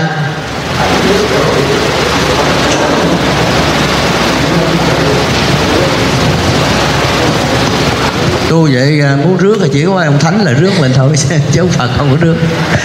Hoặc là mấy mấy ông thánh cô hồn rước mình thôi. Rồi hỏi tiếp đi à, bài kinh kính nguyện trước khi ăn có ý nghĩa gì? Cái gì? Bài kinh kính nguyện trước khi ăn có ý nghĩa gì? Cái này là kính nguyện là mình muốn uh, giác ngộ giải thoát á. Thì cái bài kinh kính nguyện nó không phải là mà nó nằm trong cái bài kinh này có nhiều cái giúp mình. Một là một là bồ tát hai là thần kim ca ba là ông phật nhìn thấy. Ông nhìn thấy ông nhờ thần kim ca tới giúp mình thôi. Chứ không phải là nếu mà kính nguyện mà nó phải đúng có ba cái trường hợp này thôi. Mà mình kính nguyện phải chân chân thành đó thì mới được. Còn kiểu kính nguyện mà cà lơ cà lơ thôi cũng cho nó vui thôi. Rồi câu hỏi tiếp. À, xin thầy giải thích uh, giúp con sự khác nhau giữa vũ trụ và càng khôn vũ trụ. Là như thế nào? Tức là vũ trụ và càng khôn vũ trụ nó khác nhau như thế nào? Vũ, vũ trụ là có một cái có một cái giới hạn. À, trong không gian này có cái giới hạn gọi là vũ trụ. Còn càng khôn vũ trụ là nó bao la trùm khắp. Tiếng Việt Nam mình gọi là bao la trùm khắp còn mà tiếng Việt Nam mà vũ trụ gọi là nó là không gian. Không gian mình nói vậy thôi chứ không có chữ trùng khắp. Chứ càng khôn vũ trụ này do người Trung Quốc ta lập còn minh đó thì thì mình gọi là không gian bao la trùng khắp. Nó chỉ sai với những cái danh từ vậy thôi. Rồi con hỏi tiếp. À, trường hợp nào cô hồn bắt chết oan người? Là người bị chết oan á là trường hợp nào bị cô hồn à, bắt? Chết quan là do cái à, cái nghiệp của mình chứ do ông thần thực thi nhân quả chứ chứ cô hồn bắt đâu. Nhưng mà ở thế giới này khi mà mình mà đang à, đang sống mơ mộng cái gì đó mà tới nhân quả mình mình mất á thì mình mơ đó thì nó đi theo là cô hồn nó dẫn mình đi. À, trên mơ nó mơ nhập bọn thì nó dẫn mình nhập bọn thôi rồi con hỏi tiếp.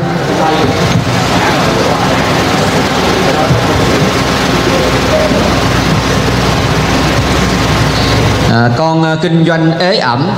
Con cúng cô hồn con chỉ nói tôi cúng cho các vị ăn các vị tạo điều kiện cho tôi kinh doanh thuận lợi để tôi có điều kiện làm công đức. Nếu con cúng vậy có được không? Mong thầy ờ, dạy cho con.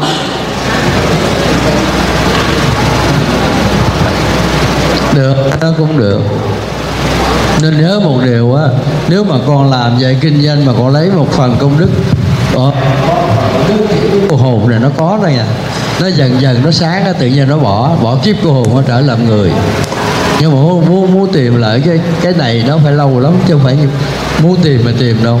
Khi nào mà truyền tông công bố ra thì nó làm vậy được. Còn nếu mà nó được thì nó cũng trở lại làm người rồi nó quay theo cái kiểu mà gọi là chờ thời á chờ đợi khi công bố quyền ký ra thì nó sẽ được trở lại làm người.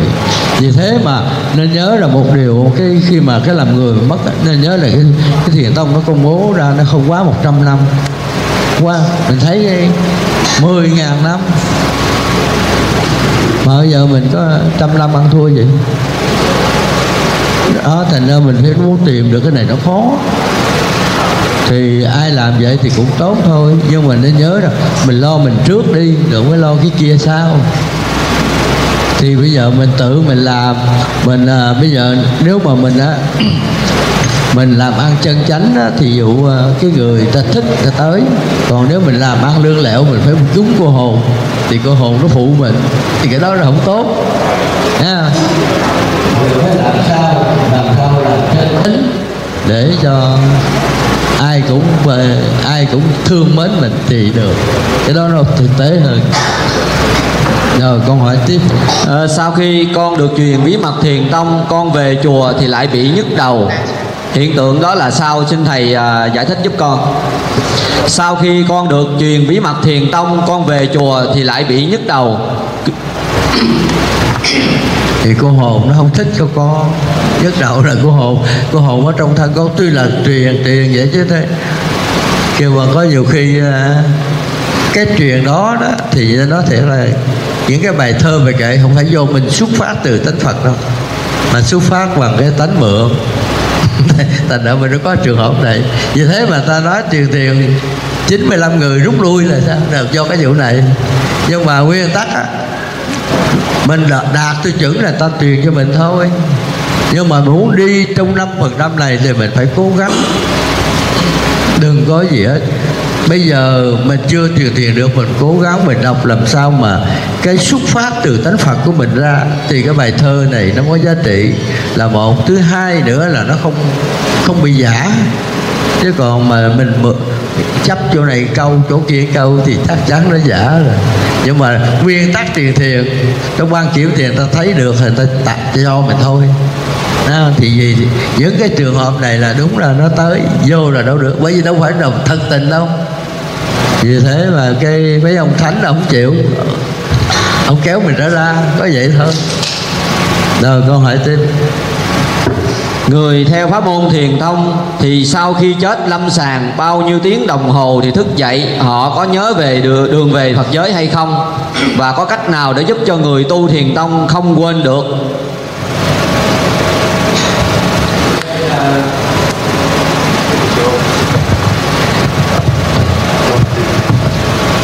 Cái ờ, cái đường về Phật giới là ta nói cho rõ mình mà nào cái công đức mà cho sáng suốt thật tình nó nhớ rõ lắm. Trừ trường hợp cái công đức của mình mà nó bị bâu đen hoặc là mình không thực không thực tình đó thì nó khó khó mà biết rõ lắm. Mình phải hiểu cái này. Cái thích thiệt thứ thiệt không sợ cái gì hết á. Tại bởi vì nói thì vàng thiệt không sợ lửa là chỗ này. Chứ mình đừng thấy người ta truyền thiền mình cũng ham mình nhào vô thiền. Mình đừng có rồi nếu mình chưa đạt cái trình độ này giống như mình đi học lái xe nếu mình trình độ đạt rồi thì cấp bằng lái xe an toàn. Còn mình chưa đạt cái trình độ này mình chắc chắn ra ngoài có chuyện gì xảy ra mình không xử lý kịp. Đó là do mình hại mình thôi. Rồi câu hỏi tiếp. Dạ, câu tiếp theo là sống bằng tánh phật là sống như thế nào? Thánh Phật là thanh tịnh. Ai chửi gì thì chửi Chửi giống như nước đổ lá môn Ai nói xấu gì giống như nước đổ bạc hà thôi. Đó vậy thôi. Thế giới này là không có cách nào mà người ta Mình không có cách nào làm cho người ta vui một trăm phần trăm được hết. Thì thôi, ai nói gì nói, Ai chửi gì chửi kệ người ta, Vậy thôi. Có nghĩa là mình sống ở đây mình biết người ta chửi mình là tại người đó ta âm, ta nhiều, ta chửi mình không? có gì có người còn người ta khen mình người đó dương nó khen mình. Chứ không nhập gì âm cũng không hại mình mà dương cũng không cho mình được đồng nào. À, thì thôi mình cứ hiểu cái thế giới này gọi là thế giới nhân quả mà thế gian. Mình hiểu vậy mình sống khỏe thôi. Nhưng mà vô thiền tông có một một điều là rất khỏe là gì hồi xưa mình không hiểu cái gì ai nói cái gì mình cũng nghe. Rồi bây giờ mình biết rồi thế giới này lắm loài sống chung. Thần người ngã quỷ rồi. Mình coi nào mình là con người. Con người phải có trí tuệ mới nhìn thấy cái cái thần với cái, cái ngạ quỷ này. Mình con người phải trí tuệ. Thì không làm bất cái gì thì hồi xưa mình không làm đó mình cứ đi tùm bum hết. Nổi mà cái tết tết phải đi thập tự 10 cái cảnh chùa. Đi về cảnh chùa thứ chín bị xe bị đụng. Ủa tại tôi đi tới chín cửa chùa mà cũng xe bị đụng. Rồi sao? Đó. mình hiểu này cái trí tuệ. Mình muốn đi không ai rầy nhưng mà đừng, đừng có đừng có chú ý tới cái chuyện này. Muốn đi giết chùa nào thì đi. Đi để xem cảnh chùa chứ đừng vô đó rồi cầu xin phước cầu xin lộc đừng đừng có xài cái đó nữa à, rồi câu hỏi tiếp. À, nếu nếu con tạo công đức thật nhiều mà con cũng tạo phước đức nữa thì có ảnh hưởng gì tới con đường về Phật giới hay không? Mình nhớ là tạo công đức thì giờ phân giới phước đức là giảng sanh. Nên không tạo thôi mình không tạo thôi. Có nghĩa là mình sử dụng cái phước đức hiện tại là mình xài cái cái lương tháng trước á. Yeah bây giờ mình sống đây, mình có có mang áo mặc đủ là do mình cái phước nghiệp, cái đời trước mình tạo ra. Bây giờ về hết rồi, đâu cần tạo chứ mình tạo đời này để cho tạo, để cho đời, cho cho đời sau. Cũng như mình đang làm cái cái tháng lương này để gì? Để xài cho tháng sau, chứ không phải xài cho tháng này vì 30 mới lãnh chứ đâu phải lãnh đó rồi. Có nghĩa là một tháng 30 ngày đến ngày 30 mới lãnh lãnh để qua ngày một tháng sau xài. Thì cái đời trước nó cũng vậy. Để hiểu cái nguyên tắc này. Rồi câu hỏi tiếp. Ờ, bà à, trong kinh có nói bà chủ quán hỏi giảng sư đức sơn quá khứ tâm bất khả đắc hiện tại tâm bất khả đắc vị lai tâm bất khả đắc xin về giải thích giúp con à thế giới này ờ, đức phật nói là cái quá khứ, hiện tại, vậy là không có nào được hết. Nên không có tu.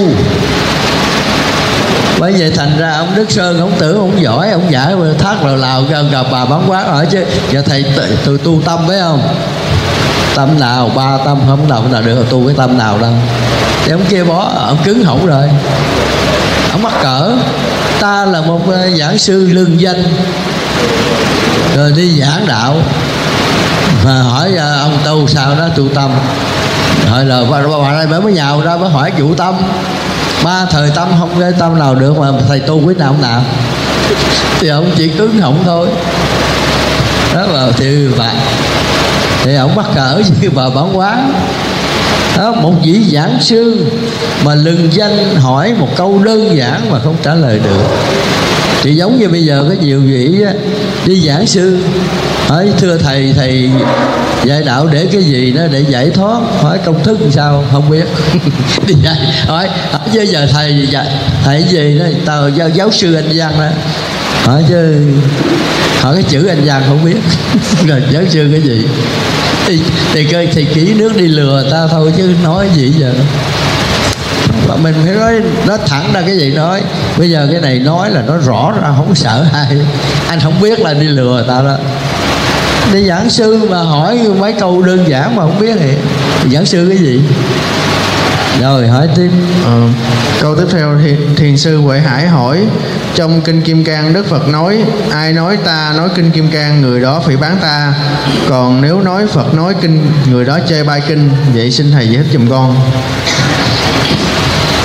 cái câu này đó nói là kinh kim cang nói là trong kinh á, thì hỏi đức phật tu cái gì? Nó đều ta tu dạy giải thoát.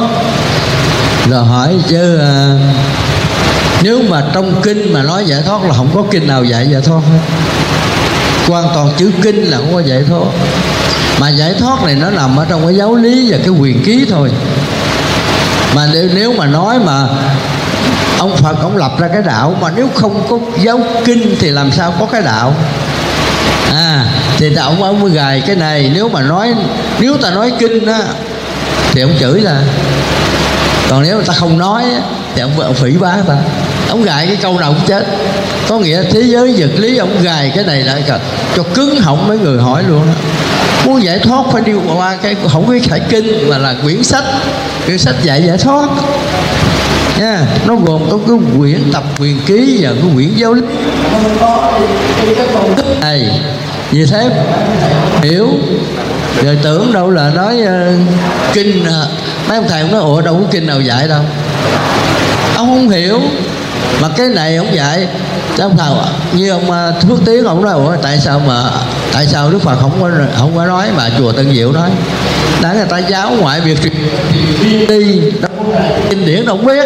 Ông học trong kinh làm sao ông biết. Cái này là bí mật nó truyền đi. Mấy ông tổ mấy ông tổ cầm đi. Cầm đi không biết thế nào. Giao cho bà này công bố ra. Có vậy thôi. Bà già bà, bà công được. Kiếm con bà kêu ra dùng vậy thôi. Rồi kiếm trong kinh làm sao có? Trong kinh làm sao có cái cái dạy thoát này? Nó tại ta không biết. Rồi gì không biết rồi sao? Cái ngã con người nhậu ra rồi kiến chấp chửi ta. Tu tu mà tu mà tu mà dữ quá. Ở ngoài nó chửi đâu không chửi nặng à. Ở ngoài chửi nhẹ nhẹ mà chỗ em tu chửi dữ lắm. Ờ, rồi hỏi tiếp ờ, ngày xưa các vị tổ à, tổ tổ truyền tổ với nhau vậy thì ờ, một vị thì chỉ giúp được cho một người vậy thì làm sao có đầy đủ công đức để vợ trở về Phật giới? Cái chuyện về Phật giới không phải là đời này ông giúp đâu, không có được trước rồi. Mấy ông đó là cũng làm sao tên kêu bằng là xuống là làm tình nguyện viên cho ông thích ca thôi. Chứ còn chuyện về Phật giới đối với ông, ta có sẵn rồi. Cái này, cái chuyện này là chuyện tình nguyện viên thôi. Chứ còn ta đã có rồi. Cũng như là cũng vậy là cái ông xong giờ ông hồi làm tổng thống, đương rồi sao ông ăn? Mà chuyện thiếu vậy. Ờ, ông ăn chịu được. Cái người người đó muốn về lúc nào ta về? Nha mà ta vô đây để ta mượn thân ai để làm gì? Vì thế mà tại sao ông thích ca ông biết cái đời này ông kia, ông thích ca ông nói luôn mà, nói, thấy không? Ông thích ca ông biết rồi. Thì cái người đó là gì? Là ông thích ca nhờ đó. Chứ không nhờ làm sao biết?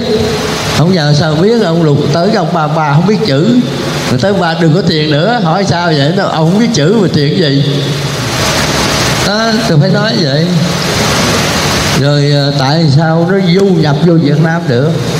Cái người bình thường là không nhận mà cái ông Trần Nhân Tông cũng nhận, ông làm vua mới nhận được. Làm vua nhận được, cái pháp môn này nó mới tồn tại đến mấy trăm năm sau. Cho một người bình thường nhận cái này là không tồn tại được nó qua cái thời kỳ truyền thiền mà nếu ông Trần Nhân Tông không nhận được cái cái tập quyền ký quyển giáo lý này thì mất liền. Giờ ông này không biết ông ông giấu bằng kiểu nào, ông lo lẽ làm sao. Ông ờ, lừa, ông làm sao mà dạy giao có bà này tôi không biết. Nhưng mà phải có con người đặc biệt có nhiệm vụ đưa mà tối mật 700 năm 700 năm sau. Từ Trần Nhân Tông 700 năm sau mới mới công bố cái gì đó. Không phải nhỏ đâu. Đó là do ông Phật, ông sắp đặt sao mình không biết. Rồi con hỏi. Ừ. con đọc sách thiền tông mà con bị buồn ngủ và chảy nước mắt, thì đây là nguyên nhân gì ạ cái nó phát là cảm ngộ, buồn ngủ rồi mình tại vật lý mình buồn. Vật lý của mình chán quá, mình buồn ngủ. Thế giới vật lý, cơ thể mệt thì ngủ. Có vậy thôi.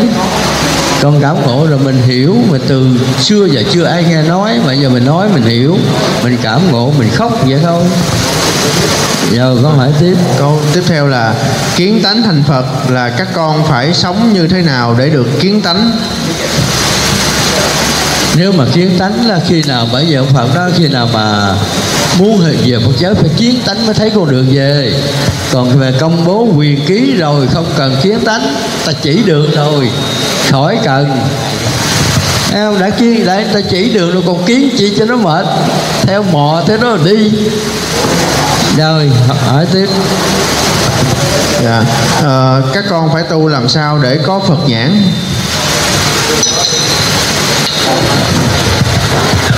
Ừ. muốn có Phật nhãn thì không mình có công đức nhiều, Phật nhãn nó mở ra, chứ tu gì? Đạo Phật không có tu, muốn Phật nhãn mở ra thì công đức nó vô. Thì tự nhiên cái phá cái âm lực của trong cái cái tánh người, thì cái tánh Phật nó mới nhìn thấy xa cái biết. Chứ chứ tu gì, cái đẹp không có tu, mà chỉ tạo công đức tự nhiên Phật nhãn mở ra. Giống như cái nhà này, nó tối thui. Giờ làm sao có nhà tối? Tôi tu sao cho cái nhà tối? Nhà sáng không có tu. Đem bóng đèn mở vô, nó sáng nó không có tu. Nhưng trong trong cái thế giới tối này không có làm cái gì mà nó hết tối nữa đó. Là càng làm càng tối. Muốn hết tối, đưa bóng đèn vô, sáng trưng rồi con xin thầy giảng rõ cho con hiểu thế nào là bản lai diện mục, thế nào gọi là niết bàn. Bản lai diện mục là cái mặt mắt ngàn đời của con mình, là nói cho chỉ Phật tánh á. Còn Niết Bàn là chữ thanh tịnh.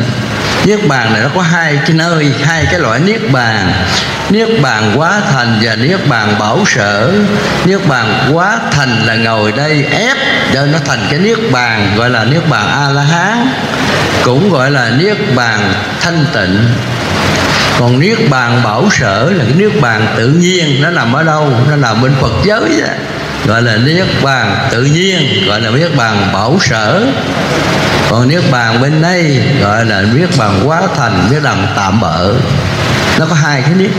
Là chỉ thanh tịnh thanh tịnh phật giới và thanh tịnh trong thế giới vật lý. Phải hiểu hai cái nguyên tắc này. Rồi hỏi. Yeah. Ờ, các vị các vị tổ thiền tông nếu như các vị đó không trở về Phật giới thì các vị đó sẽ ở đâu trong trái đất này? Nó về Phật giới rồi ở đâu nó về Phật giới ở Phật giới. Các vị tổ về Phật giới là ta thành Phật rồi thì ta, ta đi đâu chuyện của người ta? Mới nên nhớ rằng thiếu người mà thành Phật nhỏ đó thì ở vĩnh quận ở tam giới này thôi độ người tam giới này thôi. Còn nếu Phật uh, Phật trung thì độ người trung thiên thế giới Phật cả đà, độ người đại thiên thế giới. Đó mình phải hiểu cái rất giống như chiếc xe. Chở 50 người chắc xe bự 50 người. Xe dừa chở 15 người xe nhỏ chở 4 người cũng là chiếc xe. À, chứ ở đâu? Còn cái chuyện lực của người ta là mới, mới biết cái chuyện đó. Rồi hỏi tiếp. Ờ, tại sao khi đi lạy các đám thì công đức lại bị bôi đen? Và nếu bị bôi đen thì bôi đen toàn bộ hay là bôi đen một phần? Bôi đen toàn bộ luôn. Còn à, vấn đề mà tùy theo mình chấp nặng á, thì nó đen này đen nhiều. Còn chấp ít thì nó bôi đen ít. Đó vậy thôi. Nhưng mà đã bôi đen thì không sử dụng trong Phật giới được. Trong Phật giới á, một cái công đức mà nó sáng á, thì vị thần không có đụng được thì mới thả mình ra. Còn nếu bôi đen ít thì giống như mình cái dây điện mà bọc ít vậy cũng không vậy. Bọc dày bọc mỏng cũng không có ông thần cũng động được hết à. Chứ nào mà không bôi đen thì ông thần mới mới thả mình ra mình về. Thì mình về thì có một Phật dẫn mình về làm quả tiêu dẫn mình về chứ nếu mà không có ông Phật thì thôi mình cũng không biết đường đâu đi. Rồi con hỏi tiếp. Ờ, thầy có thể tổng hợp lại cho con thành một cuốn ờ, sách nhỏ trong đó gồm có cách tạo công đức và các đường về Phật giới được hay không? giờ sách nhỏ gì? Bây giờ là ta nay ta nói giờ thì mình đó cô đọc lại thì mình tự mình viết. Chứ trong 12 quyển sách ta nói rõ rồi còn nếu muốn nữa thì phải đợi cái giáo lý đi ra. Giáo lý mà nhà nước cho ra thì mình khỏi cần hỏi ai hết á. Là là cái cái bằng ờ, Phật sống rồi đó. Giáo lý thì ra ai hỏi gì cũng biết. À, hỏi cần hỏi ai hết. Nhưng mà phải cố gắng đi thì để coi. Đi xuống núi Sam coi coi cái giáo lý có ra không? Chứ không có ra là chịu thua. Á rồi hỏi tiếp. À, người có tư tưởng vô thần cộng với phước đức lớn có thể được xem là bạn của thần Kim Cang hay không? Người người có tư tưởng vô thần cộng với phước đức lớn có được xem Kim Cang hay không? Vô thần, tư tưởng vô thần, thần. Tư tưởng vô thần là không có nói về không về tâm linh á. Không có ta không có tin cái này. Rồi sao? Ta không tin cái thế giới vô, vô hình. Giờ nói gì vậy nếu không tin thế giới vô hình thì đừng có can thiệp đừng có bàn, tán cái chuyện gì cho nó mệt. Nha, đã vô chứ vô hình là bây giờ thế giới này gọi là có hai cái loại hữu hình và vô hình. Nếu chấp nhận cái hữu hình không hiểu cái vô hình thì giờ làm sao? Thì mình đâu có làm gì được. Đã đây là gọi là kiến chấp đoạn. Trong Phật giáo gọi là kiến chấp đoạn. Cái này không làm gì được hết rồi con hỏi tiếp. Ừ, loài ngạ quỷ có phải là tác nhân tạo ra nhân luân hồi hay không? rồi ngạ quỷ là do cái tưởng con người. Ta nó sợ nó sợ mang thân này mang thân này nó khổ. Nó đi làm ăn nó mệt giờ nó không nó muốn vô cái chỗ mà không làm có. Mà ở trái đất này thì chui vô cái lời ngạ quỷ. Cái là do cái tưởng con người rồi câu hỏi tiếp. Người người tu thiền tông thường làm các việc như sau.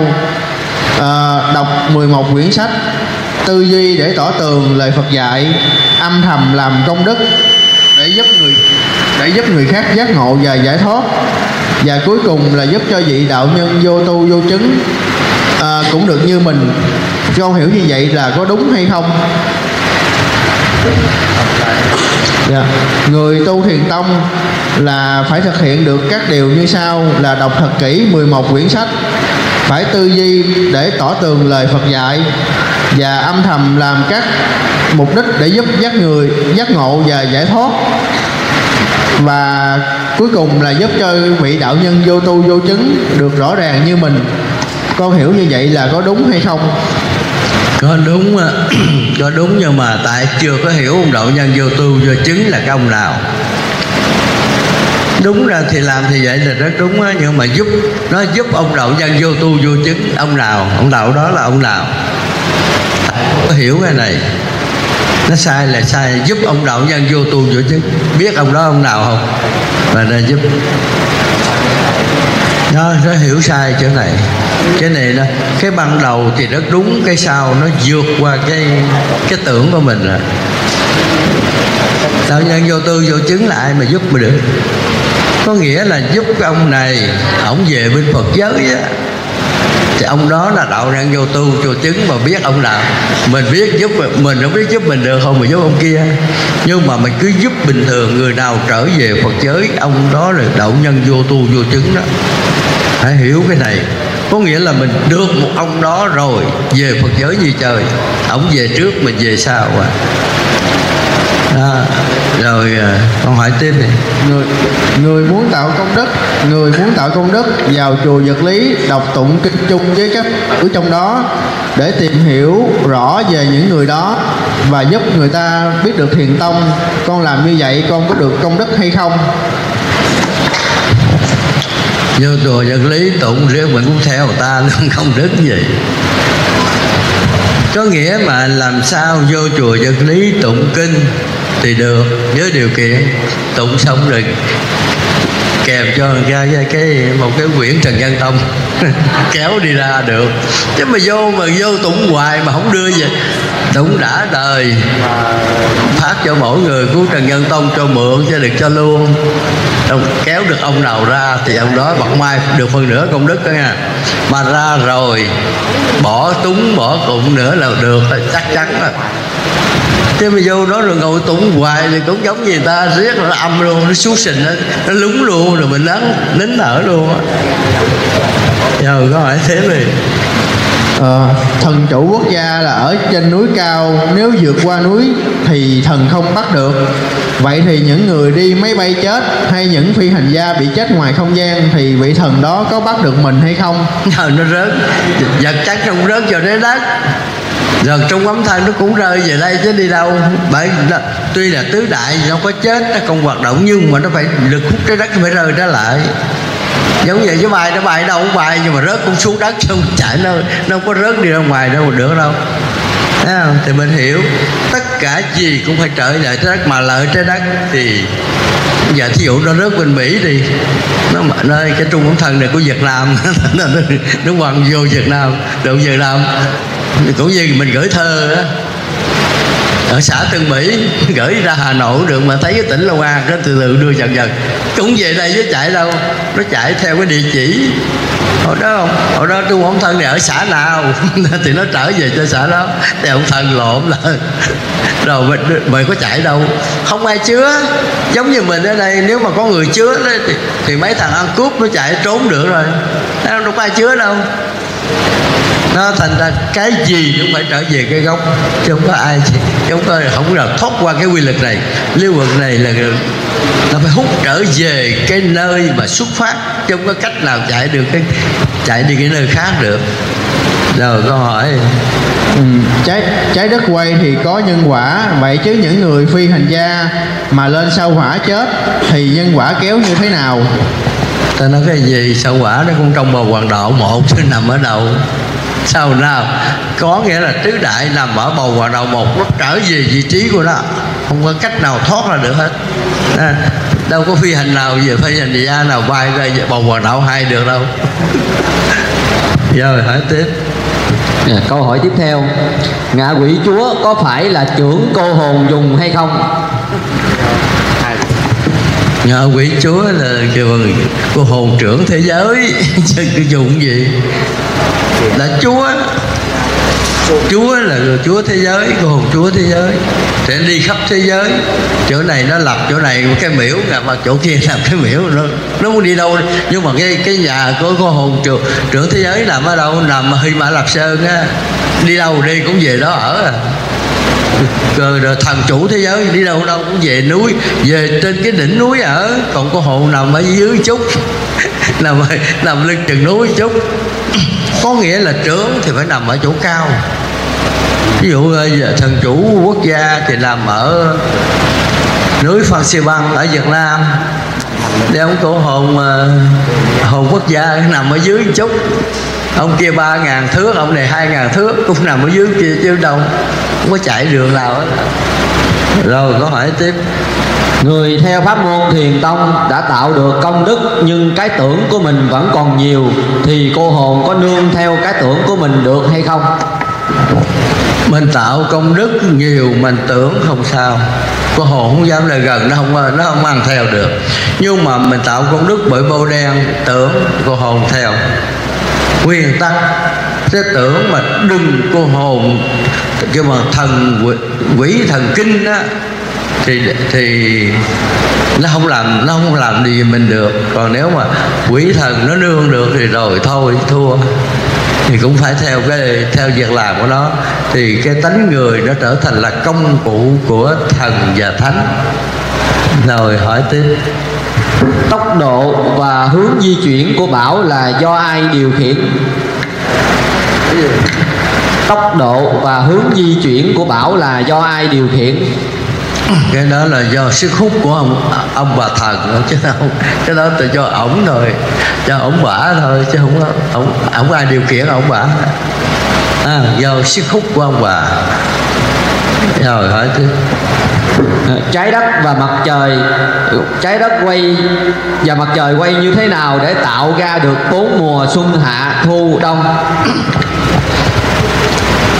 Trái đất nó quay nó trên nó trên lệch. Ví dụ mà cái đường xích đạo á, mà trái đất nó, nó nghiêng cái cái cái cái bắc cái hướng bắc á, nó nghiêng nó nghiêng gần nó đi vào trong à, cái cái đường xích đạo thì phía bắc nó thuộc về mùa hạ. À, rồi còn nếu mà cái cái đất mà nó nghiêng về cái phía nam vô đường xích đạo thì phía nam nó thành mùa hạ. Còn uh, Việt Nam mình uh, cái miền Nam Việt Nam nó thuộc về miền nhiệt đới không nóng lắm mà không lạnh lắm. Còn Hà Nội nó thuộc về ôn đới. Có lúc lạnh, lúc nóng, nhưng mà nó không đến băng tuyết. Trừ cái dị tuyến cao hơn về Hà Nội thì nó thì có băng tuyết. Nhưng mà càng cao nó băng tuyết rồi. Là do nó băng tuyết là nó xa cái mặt trời quá đó, thì nó mới tạo băng tuyết. Vì trong không gian này gọi là băng tuyết. Trong không gian nếu không có mặt trời, nó đóng băng luôn nhờ cái lần mà mặt trời nó mới xóa tan cái băng này nó tạo cái lực ấm cho dạng vật sợ sinh sống. Rồi con hỏi tiếp.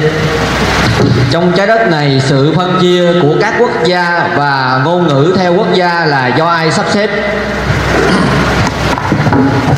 Trái đất này do bao nhiêu quốc gia rồi bao nhiêu dòng tộc và nghĩa là do cái nghiệp của con người. Do con người tạo ra nó mới nó, nó ra cái này mà đầu tiên sơ khai trên đất này vừa thành lập thì số người rất ít. Nhưng mà nó ít hay không, nó cũng có bốn cái dòng tộc trong trái đất này thôi. Rồi từ những số ít người này mới tạo ra cái nhân quả. Nhân quả nó là cái nghiệp, thì do cái nghiệp nó dẫn đi. Như nước Việt Nam mình đó Bây giờ nếu mà trái đất này là 7 tỷ năm mà cứ 10 ngàn năm Việt Nam mất rồi sau cái ba ngàn năm, Cái nó ổn định lại qua thời kỳ đầu đồng. Ở đầu đá Thì bảy ngàn năm nó vào thời kỳ đầu đồng. Mà nước Việt Nam mình đó thì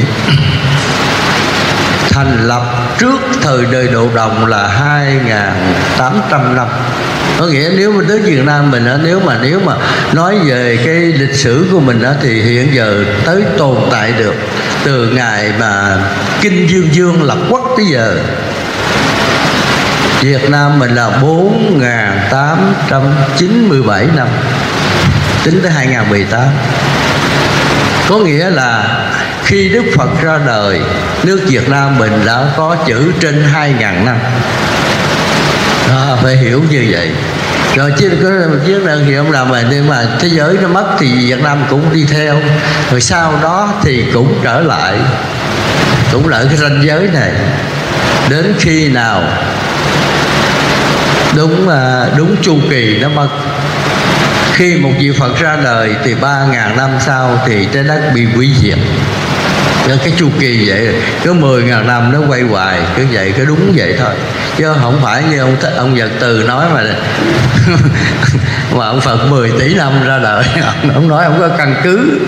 Phải không? Ông gọi là ông là ông tưởng thôi, ông tưởng ông nói vậy thôi. Cái lúc thì ông nói 5 ngàn năm, rồi lúc mà 7 ngàn năm 8 ngàn ờ 8 tỷ năm, rồi 10 tỷ năm. Không có đúng, không có cơ sở mà Việt Nam mình mình mình nói là bây giờ tại sao mấy ngàn năm bây giờ hỏi chứ cái thời à, mình coi cái thời cái nước mà Giang Lan mình ở bên Tàu á Giang Lan mình nó nằm ở bên ờ, Quảng Đông của Trung Quốc á. Bên đó, hồi đó mình là một cái bộ lạ. Trung Quốc nó đã lập quốc trước mình hai ngàn năm, chứ không ít đâu rồi nó nó dài xéo mình. Rồi bắt đầu á giờ kinh dương dương lập quốc nói sao? Nước tôi là nước xích quỷ á. Nào đụng tới cho chết. Ông hù cái này hết hồn mấy cái hồn. Rồi sau này mới đổi lại là nước văn lan chứ đầu tiên nước mình là nước xích quỷ. Hù mấy thằng kia. Chứ đâu phải. Tức, bởi vì nó mà từ cái bộ lạc mà lên lập quốc không phải dễ đâu. Bộ lạc là nó là lệ thuộc của, của mấy cái mấy cái nước đó nhưng mà từ trong nước nó mới tách ra thành một cái nước mà nước phải chân chân hùng chưng bá vậy mấy chị nó mới sợ. Đó, thì, mình, thì mình phải hiểu cái nguyên tắc. Dù có trái đất mình có tiêu cái gì thì cái nước nào nó cũng tồn tại lại nó cũng vậy. Cứ 10 ngàn năm nó mất rồi 10 ngàn năm nó tồn tại. Giống như bong bóng xẹp xẹp rồi từ từ nó cũng bơm lại cũng y cái bong bóng đó. Giờ có hỏi tiếp. Con từng nghe thầy nói, trái đất này tồn tại hay hủy diệt đều do loài cô hồn mượn thân người mà làm. Vậy tại sao cô hồn lại muốn phá hủy trái đất này? Vì khi trái đất này bị bệnh thì không còn ai đi cúng cho cô hồn ăn nữa.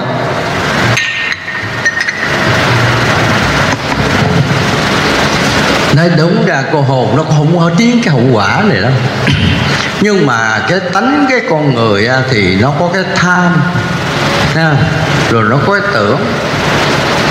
Vì thế mà cái tưởng này của hồn nó nó nó lợi dụng cái thân người để nó chỉ quỷ diệt trái đất này. Là vì thí dụ con vừa khởi niệm giết người đó cái con con dừng nó không chịu cho dừng. Nó đẩy con đi theo để giết đó. Còn con gây cái quả. Thì bây giờ một cái người mà ở thế giới này mà còn có quyền năng nhất ở trong trái đất này, tính ấn nút để tiêu diệt cái thằng kia. Mới vừa môn về cái tự nhiên là cái hồn nó điều khiển luôn à. Cho nó tới ấn nút luôn, rồi sao này? Cái gì nó cũng phải được có trợ giúp của cái loài này đó cái loại này cái mà cái, cái nó còn làm được bất cứ cái gì. Được cái này chi cho là gì tất cả nhớ nhớ là tại làm sao mà ta gây án rồi sau đó người ta hối lỗi.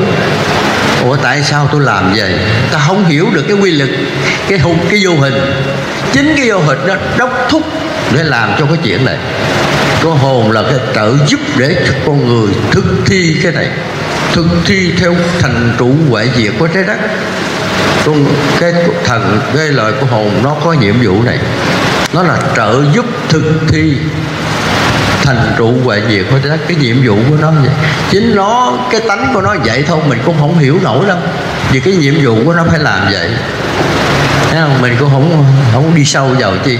Nhưng mà tất cả những gì làm xảy ra đều do cô hồn ủng hộ hết phụ mình hết có bởi vì con người suy nghĩ tưởng như một chút xíu chút xíu phải tính nhớ lại liền còn nếu mà không nhớ là đi luôn á. Thì theo của hồn nó đẩy đi luôn á. Mà anh ta nó dùng là thế giới này cực thừa nước đục, thả câu là cái chỗ này, thừa gió bẻ măng là cái chỗ này. Rồi, câu hỏi tiếp. Mười đệ tử lớn của Đức Phật Trong đó có Ngài Mục Kiền Liên. Sao gọi Ngài là Mục Kiền Liên Bồ Tát? Thì ông tên tu cái hạnh bồ tát. Bồ tát là tu cái hạnh bồ tát. Bồ tát là cái gì? Là con người gan. Có ai tu như ổng không? Ổng tu ổng luyện được thần thông là ổng đã gan. Người gan mới tu thần thông được. Còn người sợ không có tu thần thông được. Phải luyện, tu luyện. Ta gọi là bồ tát nôm danh là ổng là đức một kiền liền chứ không còn mấy ông kia là gọi là ông thôi nha. Vì đức thì một kiền liên gọi là đức một kiền liền một cái dạy bộ gan dạ nhất ở trong trong cái mười đại đệ tử của đức phật. Ông một kiền liên là ông gan nhất. Dám sử dụng thần thông, gan tu luyện thần thông mà chết bỏ mà. Sau cùng ổng được thành công. Nhưng mà một điều là sanh nghề tứ nghiệp ổng sử dụng thần thông sau cùng ổng cũng chết về thần thông. Sanh nghề tử nghiệp. Giờ câu hỏi tiếp đi. À, trái đất quay một giờ được 1.200 cây số như vậy khi chung ấm thân bắt đầu à, đi ra khỏi lực hút âm của trái đất chung ấm thân có phải dựa theo sự chuyển động của trái đất để đi ra hay không? Đấy, đúng là khi mà mất rồi và cái à, mình không có cái phước đức âm á thì đương nhiên phải dâng ra. Gọi là văng ra thôi. Văng ra đi ngoài sức hút âm. Mà nếu mình có phước đức dương thì nó nối tiếp đi vòng hoàng đạo 2, hoàng đạo 3 còn nó không có thì phải đi ra một cái cái rìa này. Vì thế mà vừa rời ra người nào có công đức thì một vị phật phải làm qua tiêu dẫn đi còn nếu không có phật nó quay hoài. Mà nên nhớ rằng, bất cứ người nào trong trái đất này mà có công đức rồi thì vị phật bên bậc giới biết liền. Thì ta biết, ta canh, ta biết cả cái ngày giờ chết của mình luôn. Thì ta nương vào cái trung tâm vận hành luân hồi hải trường âm để để đi vào, đón cái thân này. Đón đón một cái cái vị này để ra cái, ra ngoài cái dòng hút của hoàng đạo để mà dẫn đi về Phật giới về trung tâm của hải triều dương. Của nhiều Phật bên kia nhìn biết vị Phật nhãn nó nhìn xuyên xuyên suốt mà. À, còn ờ, các bầu hoàng đạo kia là điện từ âm dương vậy. Nó chỉ cực xuyên qua cái cái cái không khí này nè. Nó nhìn được cái không khí này. Phải Phật nhãn mình nhìn được thôi. Chứ còn nếu mà nếu mà điện từ âm dương thấy cũng không được không bằng. Chỉ có phật giảng mới biết. Thì mới biết được mới mới mới giờ mới kéo cái tánh phật này về được. Rồi câu hỏi tiếp.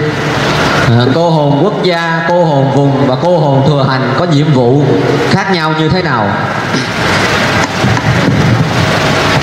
thì uh, cô hồn mà con hồn quốc gia thì nó ăn theo ờ, thần chủ thế giới. Nó là phó thần chủ thế giới đó. Rồi cân hồ vùng cũng vậy rồi cân hồ địa phương nó cũng vậy. Mà thường thường con hồn địa phương á, thì nó yểm trợ cho cho những cái cái thần cái cái vị thần thừa hành á. Nên nhớ rồi. Còn à, mấy vị là trên đó người ta thần tại sao cái thần chủ à, th, thần, chủ quốc gia nó thành lập cái gì? Thành lập đền phải không? Còn cái thần à, dùng lập định rồi nó phân bổ cái thần đưa hành. Nó đúng là mấy cái ông à, ông lãnh đạo ông lãnh đạo thần lãnh đạo của hồn nó cũng rảnh lắm. Mấy em kia có gì đem dưng hết rồi đừng, đừng có lo chứ đó. Bây giờ ở cấp nào thì lo cấp nấy. Chứ không phải mà thần thừa dụng không, cái chuyện mà của à, thần thừa hành làm gì làm. Chứ còn ổng không xen vô. Nó, ổng chỉ lo cái việc của ổng thôi. Ổng ổng lo cái à, lo cái đình thần dùng. Thì ổng làm sao linh, còn nếu mà ổng làm không nổi á ông kêu mấy mấy thần dùng á, mấy thần à, thừa hành á, là phụ ổng để cho linh vậy thôi. Mà thứ nhất á thần nó mệt, nó mắc nhiều công chuyện quá gì, nó kêu cô hồn tới là cô hồn làm liền. Bởi vì mình chết, mình làm là làm cái cái cô hồn linh nè. Bởi vì mình đang căn cứ vào á, thần thì thần là gì? Tâm linh. Linh thiêng là thần. Còn hiển linh là cô hồn. Mình nắm vững cái công thức này thì mới tu theo đạo phật không có sai đừng có thấy hiển linh rồi nhào rồi đó mình lại để dính rồi dính với ổng còn tâm linh à, linh thiêng là để cho nó ổn định cái tưởng con người. Bây giờ con người mà không có không có chùa không có nhà thờ điên hết đó thì cái người không không tưởng thì thì không điên. Mà cái ông tưởng rồi sao đây? Và tôi muốn lên trời ở mà không có cái cái đạo dẫn tôi lên trời. Sao sống nổi thì đạo điên. Vì thế mà thần phải lập ra cái đạo này để thỏa mãn cái tưởng của con người. Thế giới này gọi là thế giới nhân quả. Ta muốn đi mà không cho đi không được, thì nó bắt buộc thần phải làm cái này.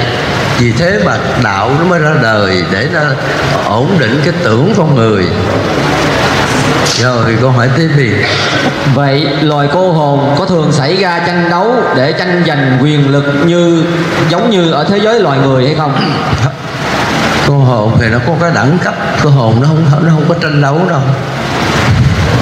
Cô hồn bây giờ ví dụ nó đâu phải giống như mình mà dành nhà nhiều cửa to không có chuyện đó nó đói nó lại nó ngửi cái xong rồi. Chứ nó phải giống như mình mình ăn mà ngày mấy trăm gram, phải đúng mấy trăm gram, còn nó không xài cái đó. Thì nó không có tranh giành hết đó cái nhiệm vụ của nó vậy thôi, chứ nó không có tranh giành gì thế giới với mình. Vì nó không làm mà nó không tạo cái gì hết. Thì nó không sợ bất cứ cái gì. Bởi vì nó muốn làm gì làm, đâu có ai bắt buộc nó tranh giành. Còn mình ở đây, còn hơn thua mới tranh giành. Vì mình ở trong này có cái tưởng, cái tham mới hơn thua, mới giành còn có hổ đâu có xài cái này. Giống như bây giờ giống như mấy con chim nó bay trên trời ấy, muốn ăn đâu có ăn. Nó ngủ đâu có ngủ đâu có dành như mình. Chứ đâu có dành mình mình đó được cái nhà trăm thước vuông của ông kia lấn hai thước mình cự lỗ trời con chim đâu có vụ này không được nó qua chỗ khác. Không? cái đó ta không có tranh giành đâu. tại vì mình có sở hữu bằng vật chất mình mới có chuyện tranh giành rồi, có hỏi tiếp Hiện tại đã hết giờ giải đáp và ban quản trị chùa Thiền Tông xin ờ, dừng cuộc giải đáp ngày hôm nay. Quý vị nào mà còn sót